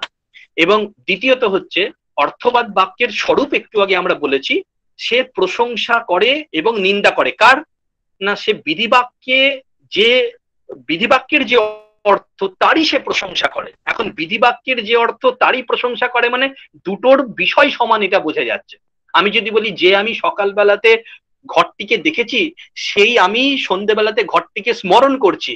যেমন এই যেই সেই, এই কথার দ্বারা, য় অহম ঘটম অদ্রাক্ষম, সহম ইদানিং স্মরামি সায়ম কালে। তাহলে এই ইয় অহম, স অহম, এর দ্বারা কিন্তু অভিন্ন এক আত্মার কথা সূচিত হচ্ছে, অভিন্ন এক পুরুষের কথা সূচিত হচ্ছে। তাই বিধিবাক্য যে ঋগ্বেদের কথা, যে অর্থবৎ বাক্যে যে ঋগ্বেদের কথা বলা হয়েছে, তারই কথা যদি এই ঋগ কথার দ্বারা বিধিবাক্যে না বলা হয়, তাহলে কিন্তু অর্থবৎ বাক্য যে তারই প্রশংসা করে বলতে পারব না, সে তার থেকে ভিন্ন একজনের প্রশংসা করছে। অতএব অর্থবাদ বাক্যের এই যে স্বরূপ, সেই স্বরূপটিও থাকবে না। সেই জন্য এই বিরোধের সম্মুখীন হতে হবে। এই বিরোধ এড়িয়ে যাওয়ার জন্য বাক্যের অর্থ নিশ্চিত হয়েছে পূর্বতই। কিন্তু দ্বিতীয় বাক্যেতে এই শব্দটির অর্থ কি হবে? সেইটা আমরা উপক্রমে যে রকম অর্থ অভিপ্রেত হয়েছে, তাদৃশ অর্থ অনুসরণ করেই সেই অর্থ গ্রহণ করতে হবে, এইটা উপক্রম নিয়ে বলেন একটু বক্তব্য। এবং এর কিছু কোথায় প্রয়োগ করব এর কিছু নিয়মাবলীও রয়েছে, যে পূর্ব দুটি বাক্যের মধ্যে বিরোধ কাঙ্ক্ষিত হবে এবং দুটি আমরা ওইখানে সেটা দেখলাম। দুটি বাক্যের কিন্তু অর্থ, প্রথম যে উপক্রম বাক্য, তার অর্থ উপসংহার বাক্য দেখার পূর্বেই নিশ্চিত হতে হবে। দ্বিতীয় এবং তৃতীয় হচ্ছে এই দুটি বাক্যের মধ্যে একটা সম্পর্ক থাকবে। হ্যাঁ? একটা একবাক্যতা থাকবে, একটা সম্পর্ক থাকবে, নচেত হবে না। এবং এই যে উপক্রম আমার দ্বিতীয় অংশ ছিল, অতি সংক্ষেপে নিয়ে বিস্তৃত আলোচনা গ্রন্থে রয়েছে এবং আমিও তত যে সেই সবগুলোই পড়েছি বা জানি তা নয় অতি সংক্ষিপ্ত অংশ আমি পড়েছি। তাহলে মীমাংসা দর্শনের একটা প্রারম্ভিক যে পরিচয়, সেটা আমরা শুরু করেছিলাম। দ্বিতীয় যে অংশ বক্তব্য ছিল উপক্রম ন্যায় সংক্রান্ত একটা সংক্ষিপ্ত আলাপ। এবং তৃতীয় অংশ হচ্ছে শাস্ত্রান্তরে তার প্রয়োগ। এখানে শাস্ত্রান্তর বলতে খুব অতি অল্প, এই সময়ের মধ্যে অতি অল্প দু তিনটি শাস্ত্রের কথা আমি এখানে বলছি, বলেছি। প্রথমেই হচ্ছে আমরা বেদান্ত দর্শন যদি দেখি, এবং আমরা সকলেই এটা আমাদের অবশ্য, আমাদের সময়ে তো সিলেবাসে ছিল, এখন আছে, হয়তো থাকবে, যে ওই যে বৃহদারণ্যক উপনিষদ রয়েছে, সেই উপনিষদের চতুর্থ অধ্যায়, আহ চতুর্থ অধ্যায়, চতুর্থ ব্রাহ্মণ, সেখানে যাজ্ঞবল্ক এবং মৈত্রীর মধ্যে একটা সংবাদ চলছে। এবং যাজ্ঞবল্ক তিনি কি হয়েছেন? তিনি বৈরাগ্য তার এসেছে, তিনি সংসারের প্রতি তিনি তার আসক্তি চলে গেছে, তিনি অনাসক্ত হয়েছেন এবং শাস্ত্রের নিয়ম আছে ইয়দ অহরেব বিরজেত, তদ অহরেব প্রব্রজেত। তুমি যে দিনই তোমার বৈরাগ্য আসবে, তুমি সেদিনই সংসার থেকে অভিনিষ্ক্রমণ করবে, সংসার ছেড়ে চলে যাবে। যাজ্ঞবল্কের দুই স্ত্রী ছিলেন কাত্তায়নী এবং মৈত্রেয়ী। তো তাদের দুজনকে ডেকে যাজ্ঞবল্ক বলছেন যে আমি তো সন্ন্যাস গ্রহণ করব, আমার যা সম্পত্তি রয়েছে তোমাদের মধ্যে ভাগ বাটোয়ারা করে দিতে চাই। কাত্তায়নী বিষয় বুদ্ধি সম্পন্ন ছিলেন, তাতে সম্মত ছিলেন, কিন্তু মৈত্রেয়ী বলছেন, সেখানে শুরুতেই রয়েছে ইয়ে অহম নামৃতা শ্যাম কিমহম তেন কুরিয়াম যেন অহম যার দ্বারা যেটা পেলে, অহম আমি অমৃতা ন শ্যাম ন শ্যাম মানে হব না কি হব না? অমৃত হব না। অমৃত হব না মানে অমরত্ব লাভ করব না। আমি মুক্তি লাভ করব না। তেন কিমহম কুরিয়াম? তার দ্বারা সেই পৃথিবী, সেই শস্য সম্পত্তি, এই বিষয় নিয়ে আমি কি করব? কিমহম কুরিয়াম? তাহলে আপনি আমাকে এমন একটা পথ বলুন যেখানে মুক্তি লাভ করা যাবে। এরপর থেকেই শুরু হচ্ছে আত্মতত্ত্বের কথা। সেখানে প্রথমেই এসেছে আত্মার কথা এবং দেখুন, এই যে আখ্যায়িকা, এই যে ঘটনা কঠোপনিষদ যদি দেখি আমরা বাজস উদ্দালক এবং নচিকেতা, তাদের মধ্যে একটা কথোপকথন আছে, একটা যমরাজের সাথে একটা তার সংলাপ আছে, এইভাবে কঠোপনিষদ শুরু হচ্ছে। এরকম উপনিষদগুলো অন্যত্র একটা সংবাদ দিয়ে শুরু হচ্ছে, একটা আখ্যায়িকা দিয়ে শুরু হচ্ছে। এই আখ্যায়িকাকে বলে অর্থবাদ। আখ্যায়িকার স্ট্যাটাস কি? সমস্ত আখ্যায়িকা হচ্ছে অর্থবাদ। আমরা উপনিষদের কথা তো পরে আমরা নাট্যশাস্ত্র যদি দেখি, ভরতের নাট্যশাস্ত্র, সেখানেও একটা ভরত, তারপরে তার শিষ্যদের মধ্যে একটা কথোপকথন হচ্ছে, সেখানে ইন্দ্র ব্রহ্মার মধ্যে একটা সংলাপ আছে, সেখানেও অভিনব ভারতী টিকাকার, অভিনব গুপ্ত উনি সেই আচার্য এখানে বলছেন, এইটাকে পুরাকল্প বলে। পুরাকল্প ইজ নাথিং বাট এ অর্থবাদ। অর্থবাদের অনেকগুলো ভাগ আছে, তার মধ্যে একটা ভাগ হচ্ছে পুরাকল্প। তার মানে এই আখ্যায়িকাগুলো হচ্ছে অর্থবাদ। তাহলে আমরা একটা বাক্য পেয়ে গেলাম অর্থবাদ বাক্য, সেখানে আত্মার কথা রয়েছে। এবং শুরু হচ্ছে যাকে দিয়ে তিনি হচ্ছেন সেই আত্মন বলতে এখানে পরমাত্মাকে বোঝানো হচ্ছে। আমি যাকে লাভ করে মুক্তি লাভ করব, তিনি কে? তিনি পরমাত্মা ছাড়া আর কিছু হতে পারেন না। তাহলে প্রথমে যে আত্মন শব্দ রয়েছে, তার অর্থ পরমাত্মন, পরমাত্মা। পরে একটি বিধি বাক্য আছে। বিধি বাক্যটি কি? যাজ্ঞবল্ক বলছেন আত্মা বারে মৈত্রেয়ী। আত্মা বারে মৈত্রেয়ী। হে মৈত্রেয়ী! আত্মা দ্রষ্টব্য, শ্রোতব্য, মন্তব্য, নিদিধ্যাসিতব্য। আত্মাকে প্রত্যক্ষ করতে হবে, সাক্ষাৎকার করতে হবে, আত্মাকে মনন করতে হবে, আত্মার অনুমান করতে হবে, আত্মার উপপত্তির দ্বারা নিশ্চয় করতে হবে, আত্মা নিদিধ্যাসিতব্য, আত্মার নিদিধ্যাসন করতে হবে, ধ্যান করতে হবে। এই যে দেখুন বাক্যটি বলল মৈত্রীকে, যাজ্ঞবল্ক মৈত্রীকে বলছে, তুমি এই রকম কর্ম করবে, এই তব্য প্রত্যয় হচ্ছে বৃদ্ধি অর্থ প্রত্যয়। একজন আরেকজনকে কোনো কর্মে প্রচোদিত করছে, প্রেরিত করছে, প্রবর্তনা দিচ্ছে। এইটিকে বিধি বাক্য বলে। তার মানে পূর্বের বাক্যে আমরা পেয়েছি অর্থবাদ বাক্য, সেখানে আত্মন বলতে পরমাত্মকে বোঝানো হয়েছে। পরের যে বাক্য রয়েছে, এইখানে যে আত্মা দ্রষ্টব্য এই আত্মা শব্দটি রয়েছে, আত্মন শব্দের দ্বারা দ্বিবিধ অর্থ প্রতীত হয়, একটা জীবাত্মন, একটা পরমাত্মন। এবং আমরা যে ব্যাখ্যাটা পড়ছি, এটা রামানুজাচার্যের ব্যাখ্যা পড়ছি। রামানুজাচার্য এই অংশে ব্যাখ্যা করতে গিয়ে বলেছেন এবং রামানুজাচার্য বিশিষ্টাদ্বৈত বেদান্তি, তারা জীব এবং পরমাত্মা অদ্বৈত বেদান্তির মতো একেবারে অভিন্ন, এটা স্বীকার করেন না। জীব এবং পরমাত্মার মধ্যে তফাত আছে। তাই এখানে প্রশ্ন যে এই আত্মন বলতে আমি কার কথা বলছি? সে কি জীবাত্মা না পরমাত্মা? কেন দ্বিবিধ অর্থই এই শাস্ত্রেতে প্রপঞ্চিত রয়েছে? তাই পূর্বে যেহেতু পরমাত্মনের কথা বলা হয়েছে, এখানেও যে যা যে আত্মা দ্রষ্টব্য, যে আত্মা শ্রোতব্য, যে আত্মা মন্তব্য, যে আত্মা নির্দিষ্টব্য তিনি পরমাত্মন হবে জীবের উপাসনা করে মুক্তি হবে, এইটার অপেক্ষায় পরমাত্মার উপাসনা করে মুক্তি হবে এটাই রঙ্গ রামানুজাচার্য বলেন। এইটি একটি এক জায়গায় বেদান্তের উপক্রম যে অর্থ প্রতিপাদিত হয়েছে, পরমাত্মন রূপ, তাকেই গ্রহণ করে উপসংহারে সেই অর্থ নেতব্য হচ্ছে এইটি একটা উপক্রমের ছায়া আছে, আমরা এখানে বলতে পারি। সেকেন্ড হচ্ছে যে সাংখ্য যোগ দর্শনের যে মূল তত্ত্ব, প্রকৃতি পুরুষ তত্ত্ব, এনারা যেহেতু আস্তিক দার্শনিক আস্তিক দার্শনিক বলে নিশ্চিতভাবে তারা বেদের শ্রুতিবাক্যের প্রামাণ্য স্বীকার করবেন। এই প্রকৃতি পুরুষ তত্ত্ব বেদে কোথায় প্রতিপাদিত হয়েছে? এইখানে তারা একটা শ্বেতাশ্বেতের উপনিষদ থেকে মন্ত্র কালেক্ট করেন শ্বেতাশ্বেতের উপনিষদে চতুর্থ অধ্যায়ে পঞ্চম একটি মন্ত্র রয়েছে।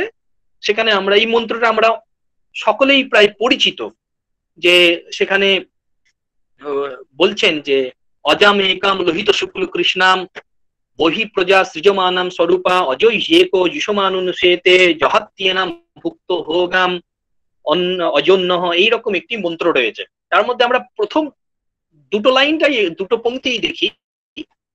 সেখানে কি বলছেন যে, অজাম একাম লোহিত শুক্ল কৃষ্ণাম। এখানে বলছেন একাম একাম মানে একটি। অজ মানে অজ মানে হচ্ছে যে অজা মানে হচ্ছে যে অবিদ্যমান জন্মজাত।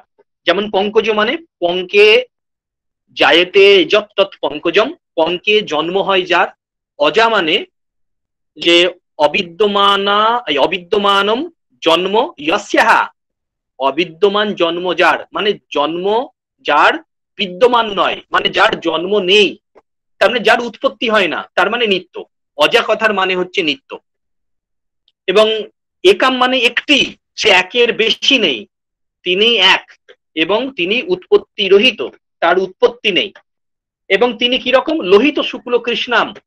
লোহিত শব্দের লাক্ষণিক অর্থ হচ্ছে যে রজ, শুক্ল শব্দের লাক্ষণিক অর্থ হচ্ছে যে সত্ব আর কৃষ্ণ শব্দের লাক্ষণিক অর্থ হচ্ছে যে তম। কৃষ ধাতুর অর্থ, কৃষ্ণতে কৃষ ধাতু আছে, কৃষ ধাতুর মানে কর্ষণ করা আকর্ষণ করা। তমগুণের কাজ হচ্ছে আচ্ছাদিত করা আকর্ষণ করা আবৃত করা। গুরু বর্ণকম তম সাংখ্যকারিকায় রয়েছে। অতএব এই এমন একজনকে বোঝানো হচ্ছে যিনি এক এবং যিনি অজ মানে যিনি অজা মানে নিত্যা। এবং যিনি হচ্ছেন যে সত্য রজতম গুণ বিশিষ্টা। এইখানে একদম শ্বেতাশ্বেতর উপনিষদে এরকম কথা বলেছেন এবং সাংখ্য দার্শনিকগণ বলছেন, আমরা তো প্রকৃতি পুরুষ তত্ত্বের কথা বলি, প্রকৃতিকে ত্রিগুণাত্মিকা বলি, প্রকৃতিকে নিত্য বলে বলি। হ্যাঁ তার পরিণাম নিত্যতা আছে, কিন্তু তার প্রকৃতির কোনো উৎপত্তি হয়নি। মানে মহৎ, অহংকারের উৎপত্তি মহৎ থেকে হয়, মহতের উৎপত্তি আবার প্রকৃতি থেকে হয়, কিন্তু প্রকৃতি আবার একটা, কোন প্রকৃতি থেকে হয় তা নয়, প্রকৃতি অজা এখানে এই এক শব্দের দ্বারা, অজা শব্দের দ্বারা প্রকৃতিকে বোঝানো হয়েছে সাংখ্য দার্শনিকগণ বলে। এবং বেদান্তি দার্শনিকগণ অজা শব্দের এখানে রূঢ় অর্থ, অজা বলতে যে অজ শব্দের অর্থ হচ্ছে ছাগ। অজ অজ মানে ছাগলকে, ছাগকে শুদ্ধ ভাষায় সাধু শব্দেতে ছাগ বলে বলে, এই অজ অজ বলে বলে, সেই অজ শব্দের স্ত্রীলিঙ্গে আকার যোগ করে পাচক থেকে যেমন পাচিকা হয়, কারক থেকে যেমন কারিকা হয়, অজ থেকে অজা হয়। ফলত অজা মানে ছাগি, স্ত্রী ছাগ, এই রকম অর্থ বেদান্তিগণ বলেছেন। তাহলে এখানে অজা শব্দের দ্বিবিধ অর্থ প্রতীত হয় বা একা শব্দ দিয়ে যাদেরকে বোঝানো হচ্ছে তারা দুজন। একজন হচ্ছে যে প্রকৃতি হতে পারে, নিত্য যে প্রকৃতি, আরেকজন হচ্ছে ছাগি বা স্ত্রী ছাগ বা স্ত্রী ছাগল, এই রকম অর্থ হতে পারে। কিন্তু এর পূর্বে একটি মন্ত্র রয়েছে, এটা উপসংহার স্থিত পরবর্তী বাক্য, পূর্বে একটি মন্ত্র রয়েছে, সেই মন্ত্রতে এই রকম বলা হয়েছে। সেখানেও কিন্তু নীল, পতঙ্গ রহিত হরিত লোহিতক্ষ গর্ভস্থবিদ ঋতব সমুদ্রাহা, পরের বাক্যটি ইম্পর্টেন্ট অনাদিমত্বম বিভূতপেন বর্তসে যত জাতানি ভুবনানি বিশ্বা। মানে বলছে ত্বম হে তুমি বিভূতপেন বর্তসে, তুমি বিদ্যমান হও, কি রূপে বিদ্যমান হও? বিভূত পেন মানে বিভু রূপে। বিভু কথার মানে সর্বব্যাপী।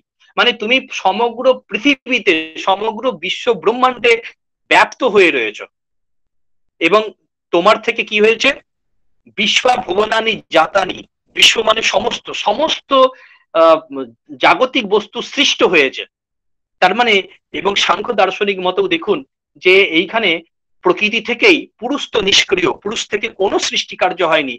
প্রকৃতি থেকেই সমস্ত জাগতিক পদার্থের সৃষ্টি হয়েছে। মহৎ মহৎ থেকে অহংকার অহংকার থেকে পঞ্চ জ্ঞানেন্দ্রিয়, পঞ্চ কর্মেন্দ্রিয়, পঞ্চ তন্মাত্রা পঞ্চ তন্মাত্রা থেকে পঞ্চভূত। অতএব সাং উপক্রমেতেও যেহেতু সেই সর্বব্যাপী, সর্বজগত কারণীভূত প্রকৃতির কথা বলা হয়েছে, পরবর্তী যে বাক্য রয়েছে, অজা, সেখানে এক প্রকৃতির কথা বলা হচ্ছে, এক ছাগির কথা বলা হচ্ছে।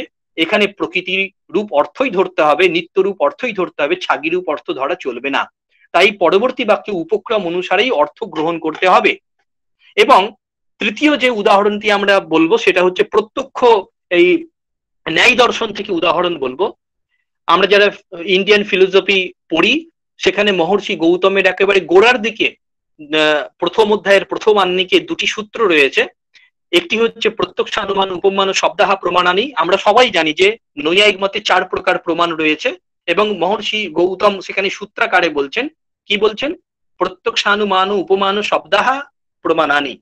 প্রত্যক্ষ, অনুমান, উপমান এবং শব্দ, এই চারটি হচ্ছে প্রমাণ। এবং এইখানটাতে এইটা যে এই প্রথম, এই যে বাক্য, এই বাক্যেতে প্রত্যক্ষ বলতে প্রমাণ, প্রমাণকে বলা হয়েছে। আমরা জানি দুটো শব্দ, প্রমা এবং প্রমাণ। প্রমা মানে আমি চক্ষুর ইন্দ্রিয়ের দ্বারা একটা ঘটকে প্রত্যক্ষ করছি। প্রত্যক্ষ করার পরে আমরা যে রকম আমাদের যে নলেজ হয় যে রকম কগনিশন হয় যে রকম ট্রু কগনিশন হয়, প্রমিতি উৎপন্ন হয়, তাকে প্রমা বলি। এবং এই প্রমিতি উৎপন্ন হচ্ছে যে প্রকৃষ্ট কারণ থেকে, কারণ সামগ্রীর মধ্যে যেটা উৎকৃষ্ট, কারণ, করণ, তাকে প্রমাণ বলে। তাই প্রথমে যে সূত্রেতে যার উদ্দেশ্য করা হয়েছে, প্রত্যক্ষ সেটা প্রমাণের উদ্দেশ্য করা হয়েছে ঠিক তারপরে চতুর্থ সূত্র রয়েছে সেখানেও প্রত্যক্ষের লক্ষণ করা হয়েছে এবং সূত্রটি হচ্ছে এই রকম। ইন্দ্রিয়ার্থ সন্নিকর্ষোৎপন্নম জ্ঞানম অব্যাপদেশ্যম অব্যবিচারী ব্যবসায়াত্মকম প্রত্যক্ষম। এই সূত্রের তো অত্যন্ত সূক্ষাতি সূক্ষ্ম অর্থ রয়েছে, সেটা আমাদের বিবেচ্য নয় এখানে, এই ক্লাসে। কিন্তু এখানে যার পরের এই চতুর্থ সূত্রেতেও রয়েছে, শেষে রয়েছে একটি শব্দ প্রত্যক্ষম। তৃতীয় সূত্র রয়েছে প্রত্যক্ষম, চতুর্থ সূত্রেও রয়েছে প্রত্যক্ষম। এখন এই প্রত্যক্ষ যে চতুর্থ সূত্র রয়েছে, প্রত্যক্ষ শব্দের দুটি জায়গাতে ব্যবহার হয়। হয়তো তিনটি জায়গাতে, আমাদের দুটি জায়গা এখানে দরকার।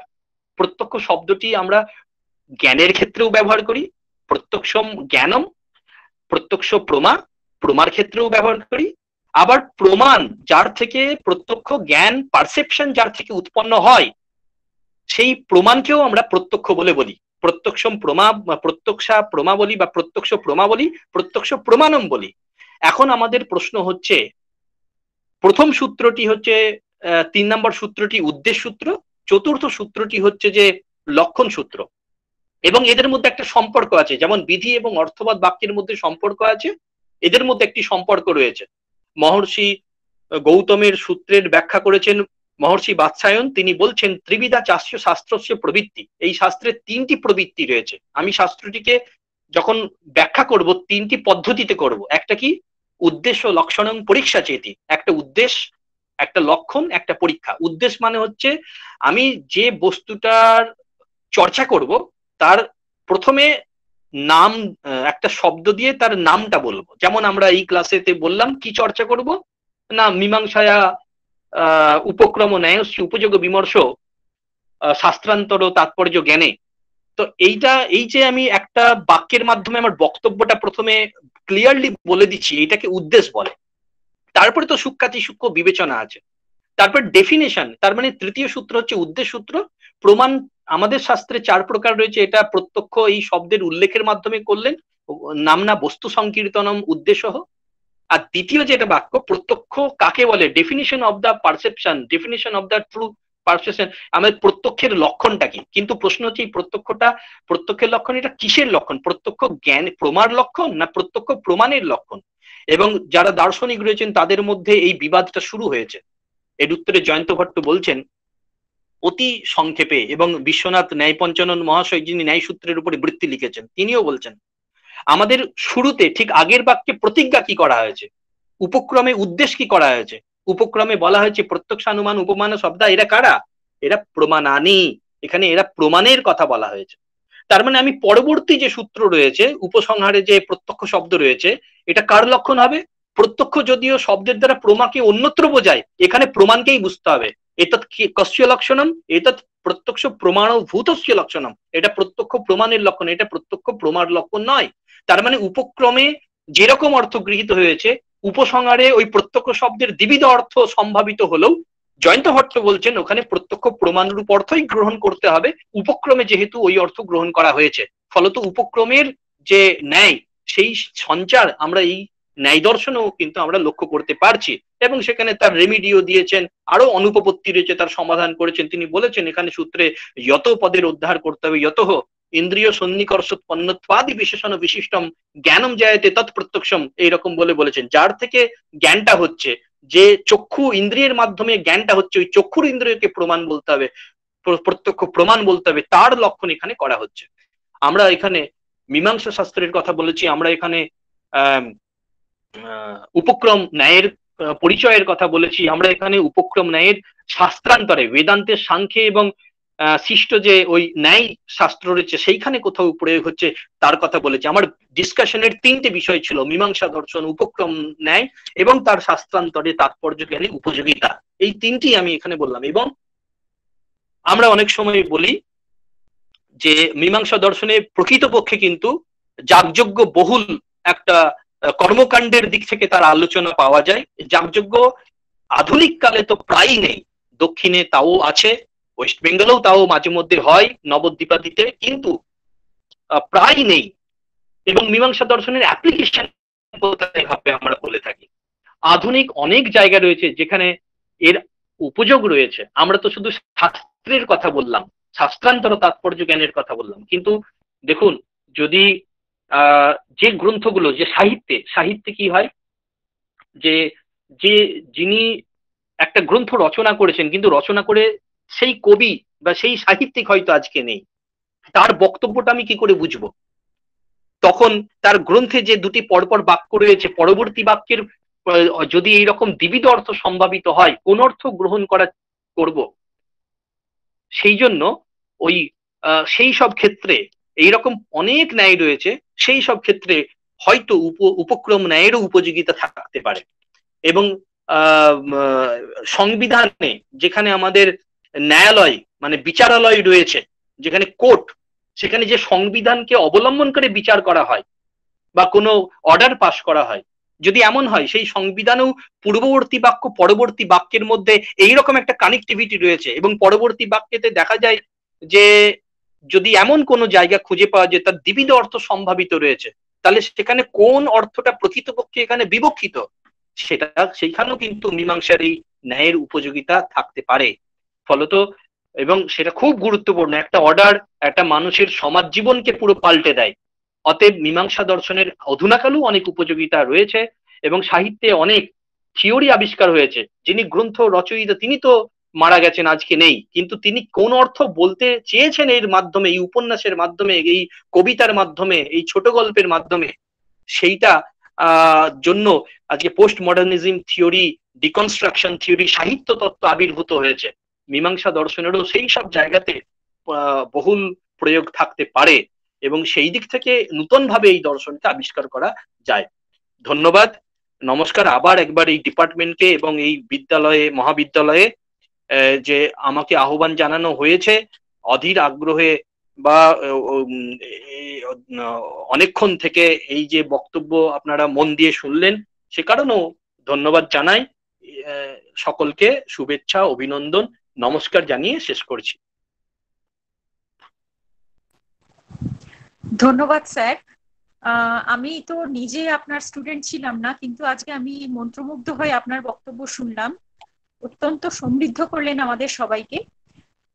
তো এবারে আমি আমাদের স্টুডেন্টদেরকে জিজ্ঞেস করব, যদি তোমাদের কারোর কোনো প্রশ্ন থাকে স্যারের, স্যারকে বা আমাদের অন্যান্য যে সমস্ত ডিপার্টমেন্ট থেকে যে শিক্ষক শিক্ষিকারা জয়েন করেছেন, তাদেরকে জানাচ্ছি, যদি কারও প্রশ্ন থাকে, তাহলে আমাদের চ্যাট বক্সে একটু জানান।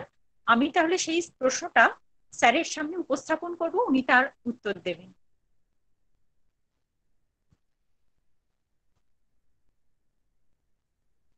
যদি কারোর কোনো প্রশ্ন থাকে, তাহলে প্লিজ চ্যাট বক্সে একটু জানান। স্টুডেন্টরা তোমাদের যদি কোনো প্রশ্ন থাকে, তাহলে একটুখানি চ্যাট বক্সে জানাও। তাহলে আমি স্যারকে সেটা বলতে পারি।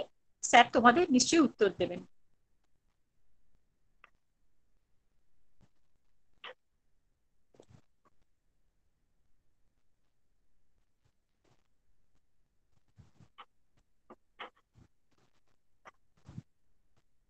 কারোর কিছু বলার আছে? কেউ কিছু জানতে চাও স্যারের থেকে?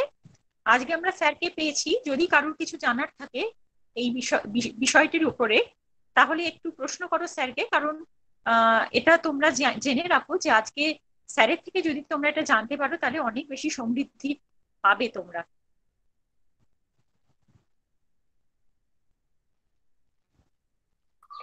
স্যার আমার একটি আমার একটি প্রশ্ন আছে। Sir hello? হ্যাঁ বলো বলো বলো বলো। হ্যাঁ স্যার। স্যার আমি বলছি আমি গৌরী দত্ত। আমি আচ্ছা, বলছি আচ্ছা। যে স্যার জীবাত্মা আর পরমাত্মার পার্থক্যটা যদি আরেকবার বলেন তো ভালো হয়।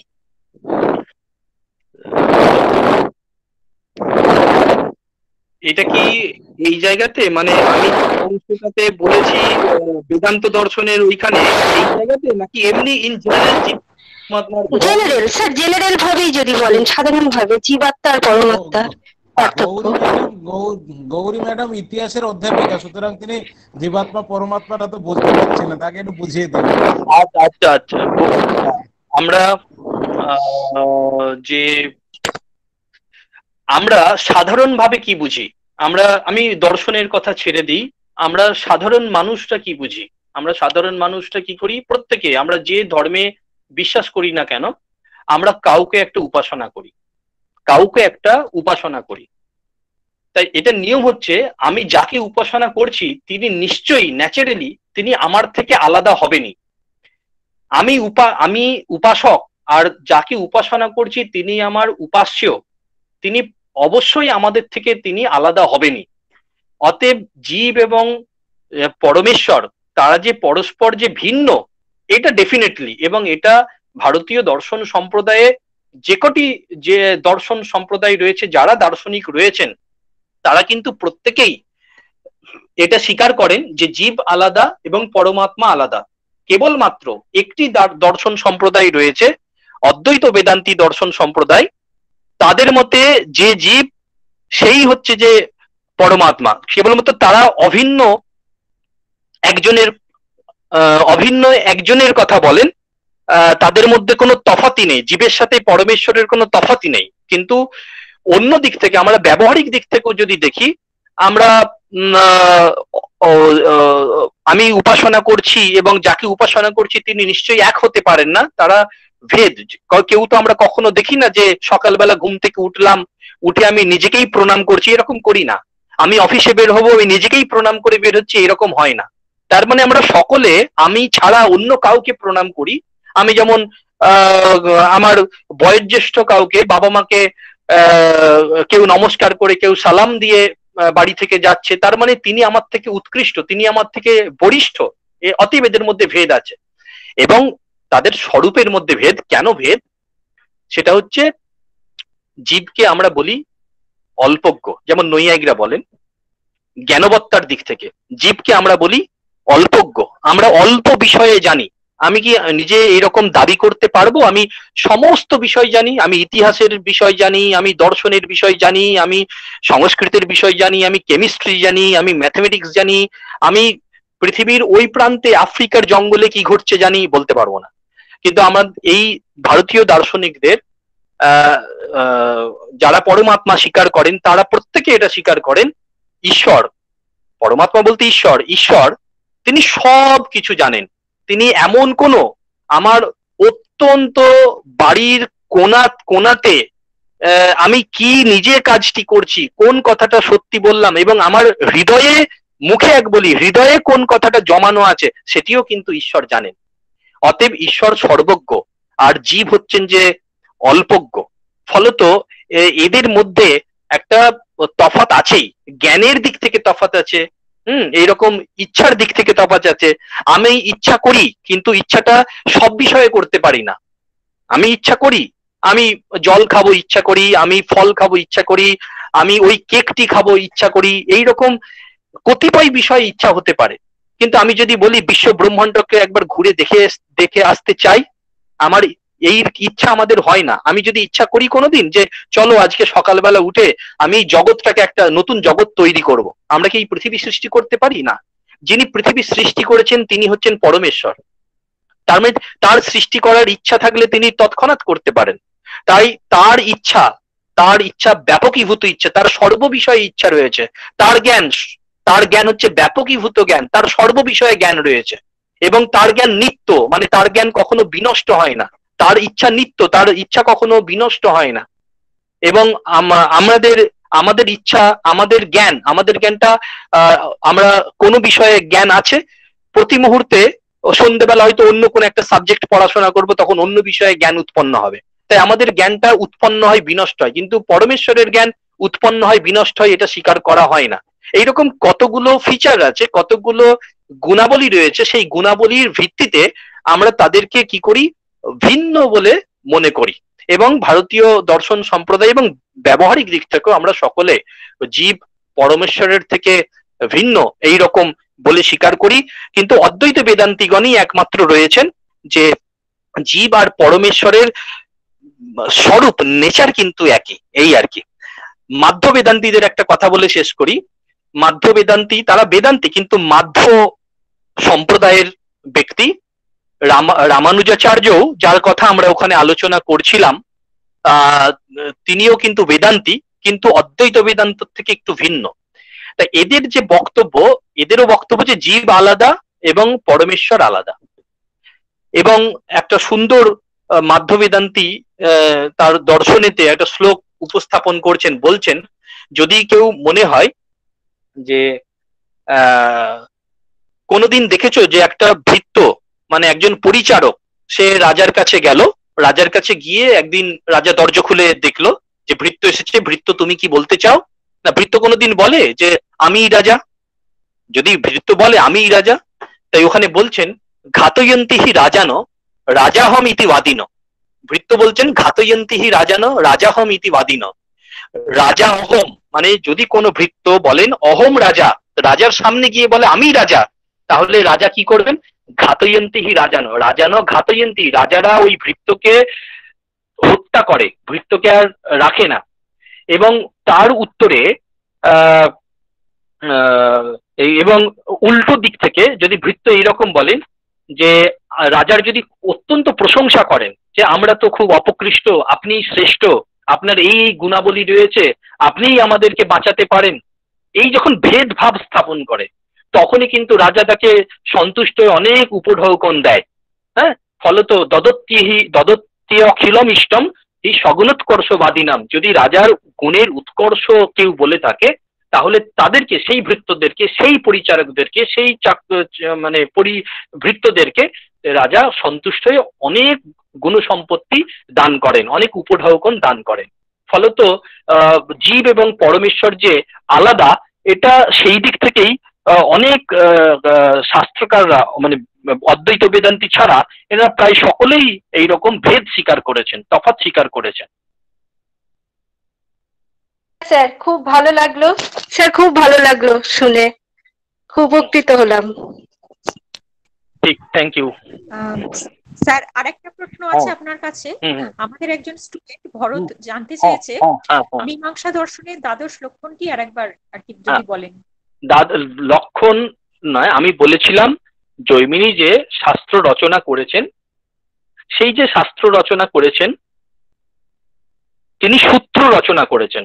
আমরা যদি ন্যায় দর্শন পড়ি মহর্ষি গৌতমের সূত্র দেখতে পাবো। তারপরে সূত্রের উপরে তো আরও ব্যাখ্যা হয়েছে, কিন্তু মূল স্তম্ভ হচ্ছে সূত্র গ্রন্থ। তাই জৈমিনী দর্শনেরও মূল স্তম্ভ হচ্ছে সূত্র গ্রন্থ মীমাংসা দর্শনের।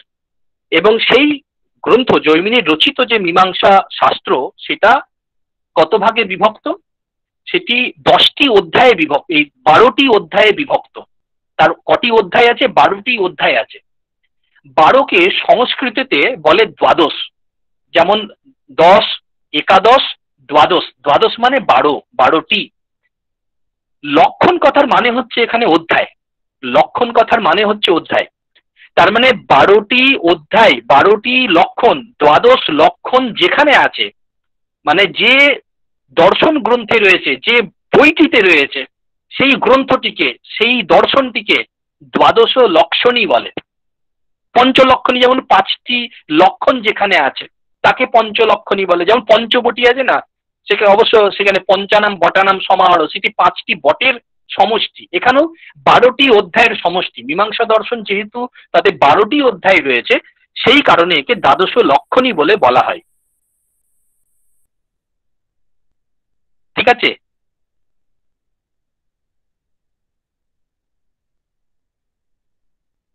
Thank you thank you sir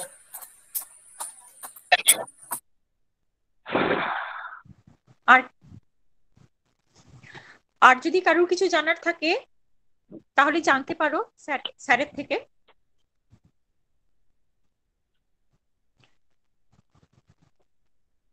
আপাতত আর কোনো প্রশ্ন দেখছি না স্যার। ঠিক আছে। তো ওকে ওকে। হ্যাঁ তো স্যার আপনাকে অসংখ্য ধন্যবাদ জানাই। ও আরেকজন আরেকটি প্রশ্ন করেছে আমাদের আরেকজন স্টুডেন্ট। সে জানতে চেয়েছে যে মীমাংসা শব্দের প্রত্যয় কি হবে? আমরা শব্দ যখন গঠন করি, সেই শব্দতে শব্দতে মূল যে পার্টিকেল থাকে, তাকে ধাতু বলে। যাকে ইংরেজিতে রুট বলে বলে। ইংরেজিতে রুট বলে বলে। আমরা যে ওয়েন্ট এইরকম যে পাস্ট টেন্সে ব্যবহার করছি, কিন্তু মূল সোর্স কি, মূল ধাতুটা কি, মূল রুট কি, সেটা গো জিও গো একই রকম আমাদের সমস্ত শব্দকে যদি ভাঙি, একটা মূল, যেমন ফিজিসিস্টরা যদি কোনো পদার্থকে ভাঙতে থাকেন, ভেঙে ভেঙে ভেঙে ভেঙে একটা মূল কণাতে পৌঁছান, তাকে বলেন পরমাণু। এরকম শাব্দিকরা শব্দটাকে ভেঙে ভেঙে যে মূল প্রকৃতিতে পৌঁছবেন, প্রকৃতি মানে যার থেকে উৎপন্ন হয় সবকিছু, সেই যে প্রকৃতি, সেই যে ধাতু, সেটা হচ্ছে মান ধাতু ময়াকার দন্তন্যয় অসন্ত। মান ধাতুর মানে বিচার করা। তারপরে অলরেডি আমি বলেছি, সেখানে একটা প্রত্যয় হবে, সন, দন্তস্বর দন্তন্যয় অসন্ত। সন। শুধু এইটুকুতে নয়, আরও দুটো প্রত্যয় এখানে কাজে লাগে। তার একটা হচ্ছে, সনের পরে হচ্ছে অকার, অ বলে একটা শুধু অকার, অকারই একটা প্রত্যয়। তাহলে মান, সন, অ। এবং তারপরে স্ত্রীলিঙ্গে।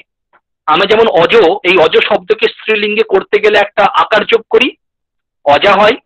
এই একই রকম মীমাংসা শব্দটি কিন্তু স্ত্রীলিঙ্গের শব্দ। এই স্ত্রীলিঙ্গ করতে গেলে একটা স্ত্রী প্রত্যয় করতে হয়। সেই প্রত্যয়টি হচ্ছে আকার।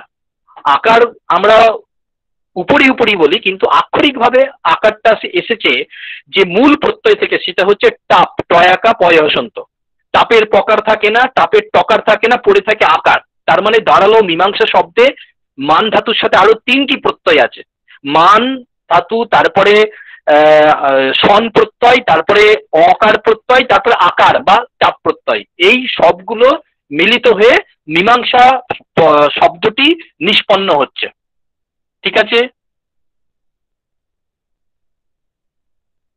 ধন্যবাদ। হ্যাঁ হ্যালো স্যার আমি একটি কথা একটু জানতে চাইছি আজিজ মন্ডল কথা বলছি। হ্যাঁ হ্যাঁ হ্যাঁ হ্যাঁ বলুন। স্যার আমি দীর্ঘ আলোচনা করলেন তার মাঝখানে সময়ের অতিক্রান্ত হয়ে গেছে তবুও একটা বিষয়ে আলোচনার মাঝখানে দেখছিলাম এক জায়গায় যে আপনি আস্তিক এবং নাস্তিক নিয়ে যেটা আলোচনা করছিলেন ওই আলোচ্য সূচির মধ্যে। স্যার আমি একটা বিষয় আমার মনে হচ্ছে যে ঈশ্বর বিশ্বাসের উপরেই আস্তিক আর না বিশ্বাস মানেই কি নাস্তিক? এইরকম কিছু কি বিষয়? না মানে আমি বলছি যে আমাদের আমাদের যে লৌকিক আমি এটা বলেছি বটে কিন্তু লৌকিক দিক থেকে মানে আমাদের সামাজিক দিক থেকে যেরকম আমরা বলে থাকি কোনো ব্যক্তিকে আস্তিক বলি আমাদের সমাজ ব্যবহারে কি রকম বলি? সমাজ ব্যবহারে বলি এই ব্যক্তিটি ঈশ্বরে বিশ্বাস করেন এই ব্যক্তিটি স্বর্গ নরক এই সমস্ত পরলোকে বিশ্বাস করেন তাই ইনি হচ্ছে নাস্তিক কিন্তু উনি বিশ্বাস করেন না তিনি নাস্তিক। এটা কিন্তু লোক সমাজে কিন্তু দর্শনে আমরা যখন ভারতীয় দর্শন করব এই রকম অর্থ নয়। ভারতীয় দর্শনে আস্তিক বলতে যারা বেদের প্রামাণ্য স্বীকার করেন, তারা যারা বেদের প্রামাণ্য স্বীকার করেন না, তারা হচ্ছেন নাস্তিক। মনুসংহিতাতে একটা শ্লোক রয়েছে। দ্বিতীয় অধ্যায়ের এই দশ বা এগারো নম্বর শ্লোক হবে, সেখানে বলছেন সাধু বিষ বহিষ্কার্য। মানে ওই ব্যক্তিকে সমাজের যারা অন্যরা আছেন, সাধু ব্যক্তি, ওই ব্যক্তিকে তিনি তিরস্কার করবেন, বহিষ্কার করবেন, তাড়িয়ে দেবেন। কোন ব্যক্তিকে? না, বলছেন নাস্তিক ও বেদ নিন্দক মানে যে ব্যক্তি নাস্তিক, তাকে তাড়িয়ে দেবেন। নাস্তিককে, সেখানে একটা বিশেষণ আছে বেদ নিন্দক বেদ নিন্দক মানে হচ্ছে যিনি বেদের নিন্দা করেন। মানে বেদ আছে সত্য কথা, কিন্তু বেদে যা বলা আছে সেগুলো মিথ্যা। বেদে যা বলা আছে সেটা যথার্থ নয়। এই রকম যারা স্বীকার করেন তারা নাস্তিক। এটা ভারতীয় দর্শন অনুসারে কিন্তু এই প্রেক্ষাপটে এই রকম আলোচনা করতে হবে। আস্তিক মানে হচ্ছে ঠিক উল্টো, যারা বেদের প্রামাণ্য স্বীকার করেন, তারা আস্তিক। আমরা সমাজ জীবনে অন্যরকম অর্থের, অন্যভাবে এইটাকে ব্যাখ্যা করি, কিন্তু ভারতীয় দর্শনে এই লৌকিক অর্থ গ্রহণ করলে চলবে না। ভারতীয় দর্শনে বেদ প্রামাণ্য স্বীকারকারীরা আস্তিক বেদ প্রামাণ্য স্বীকারকারী যারা নন তারা নাস্তিক। ধন্যবাদ স্যার। থ্যাংক ইউ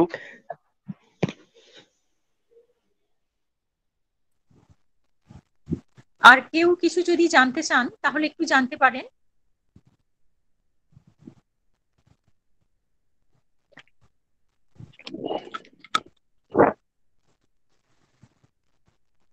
আপাতত আর কোনো চ্যাট বক্সে আর কিছু দেখতে পাচ্ছি না। আশা করছি আর প্রশ্ন উত্তর কারুর কিছু বোধহয় নেই। তো স্যার আপনাকে অনেক ধন্যবাদ জানাই আমাদের ডিপার্টমেন্টের তরফ থেকে এবং আমাদের কলেজের তরফ থেকে।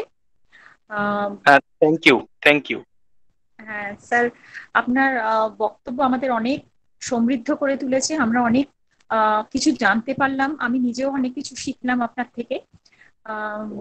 পরবর্তীকালে আবার যদি আপনি আমাদেরকে সময় দেন ভবিষ্যতে আবার যদি আমরা আপনাকে পাই তাহলে সত্যি খুব ভালো লাগবে। আমারও ভালো লাগবে কেননা শাস্ত্র চর্চা হবে বা কোনো বিষয়ের মধ্যে এঙ্গেজমেন্টটা থাকবে। হ্যাঁ। এই আর থ্যাংক ইউ তো আমি আপাতত এই অনুষ্ঠানের মোটামুটি শেষের দিকে চলে এসেছি।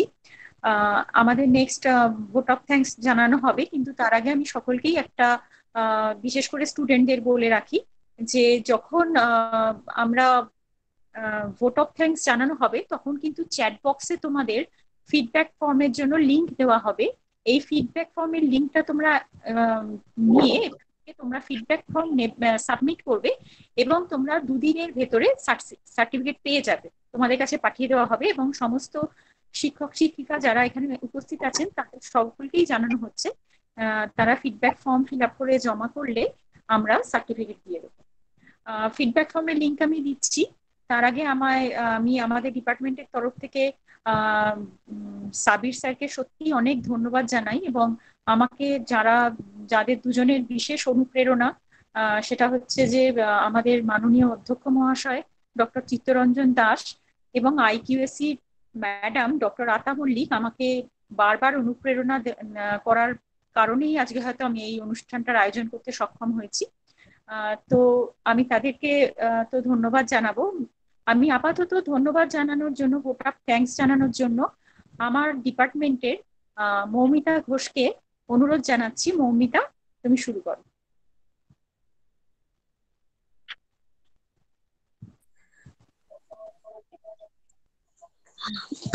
আগামী অনলাইন স্পেশাল লেকচারে সকলে উপস্থিত হয়েছি। কথা শোনা যাচ্ছে? শোনা যাচ্ছে।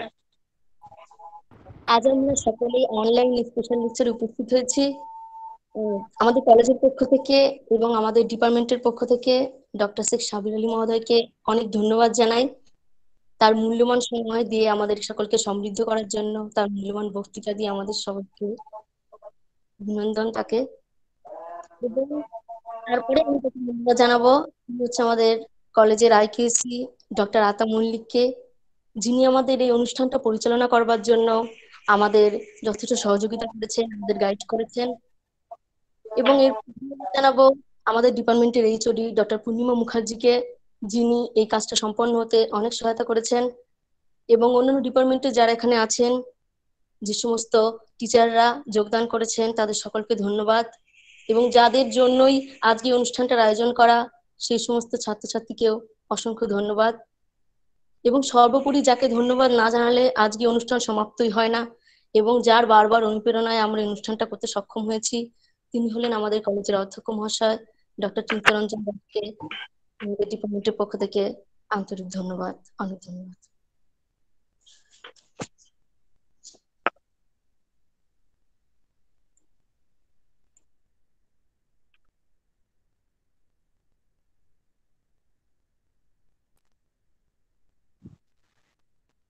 ধন্যবাদ মৌমিতা। তোমারও সহযোগিতা ছাড়া এই অনুষ্ঠান সম্ভব হতো না। তোমাকেও ধন্যবাদ জানাই এবং আমাদের ডিপার্টমেন্টের বাকি সকলকেই ধন্যবাদ জানাই। এখন আমি আমাদের মাননীয় অধ্যক্ষ মহাশয় তার অনুমতি নিয়ে আমি এই অনুষ্ঠানটি সমাপ্তি ঘোষণা করতে চাই। স্যার। ধন্যবাদ ধন্যবাদ, ঠিক আছে। সবাইকে ধন্যবাদ।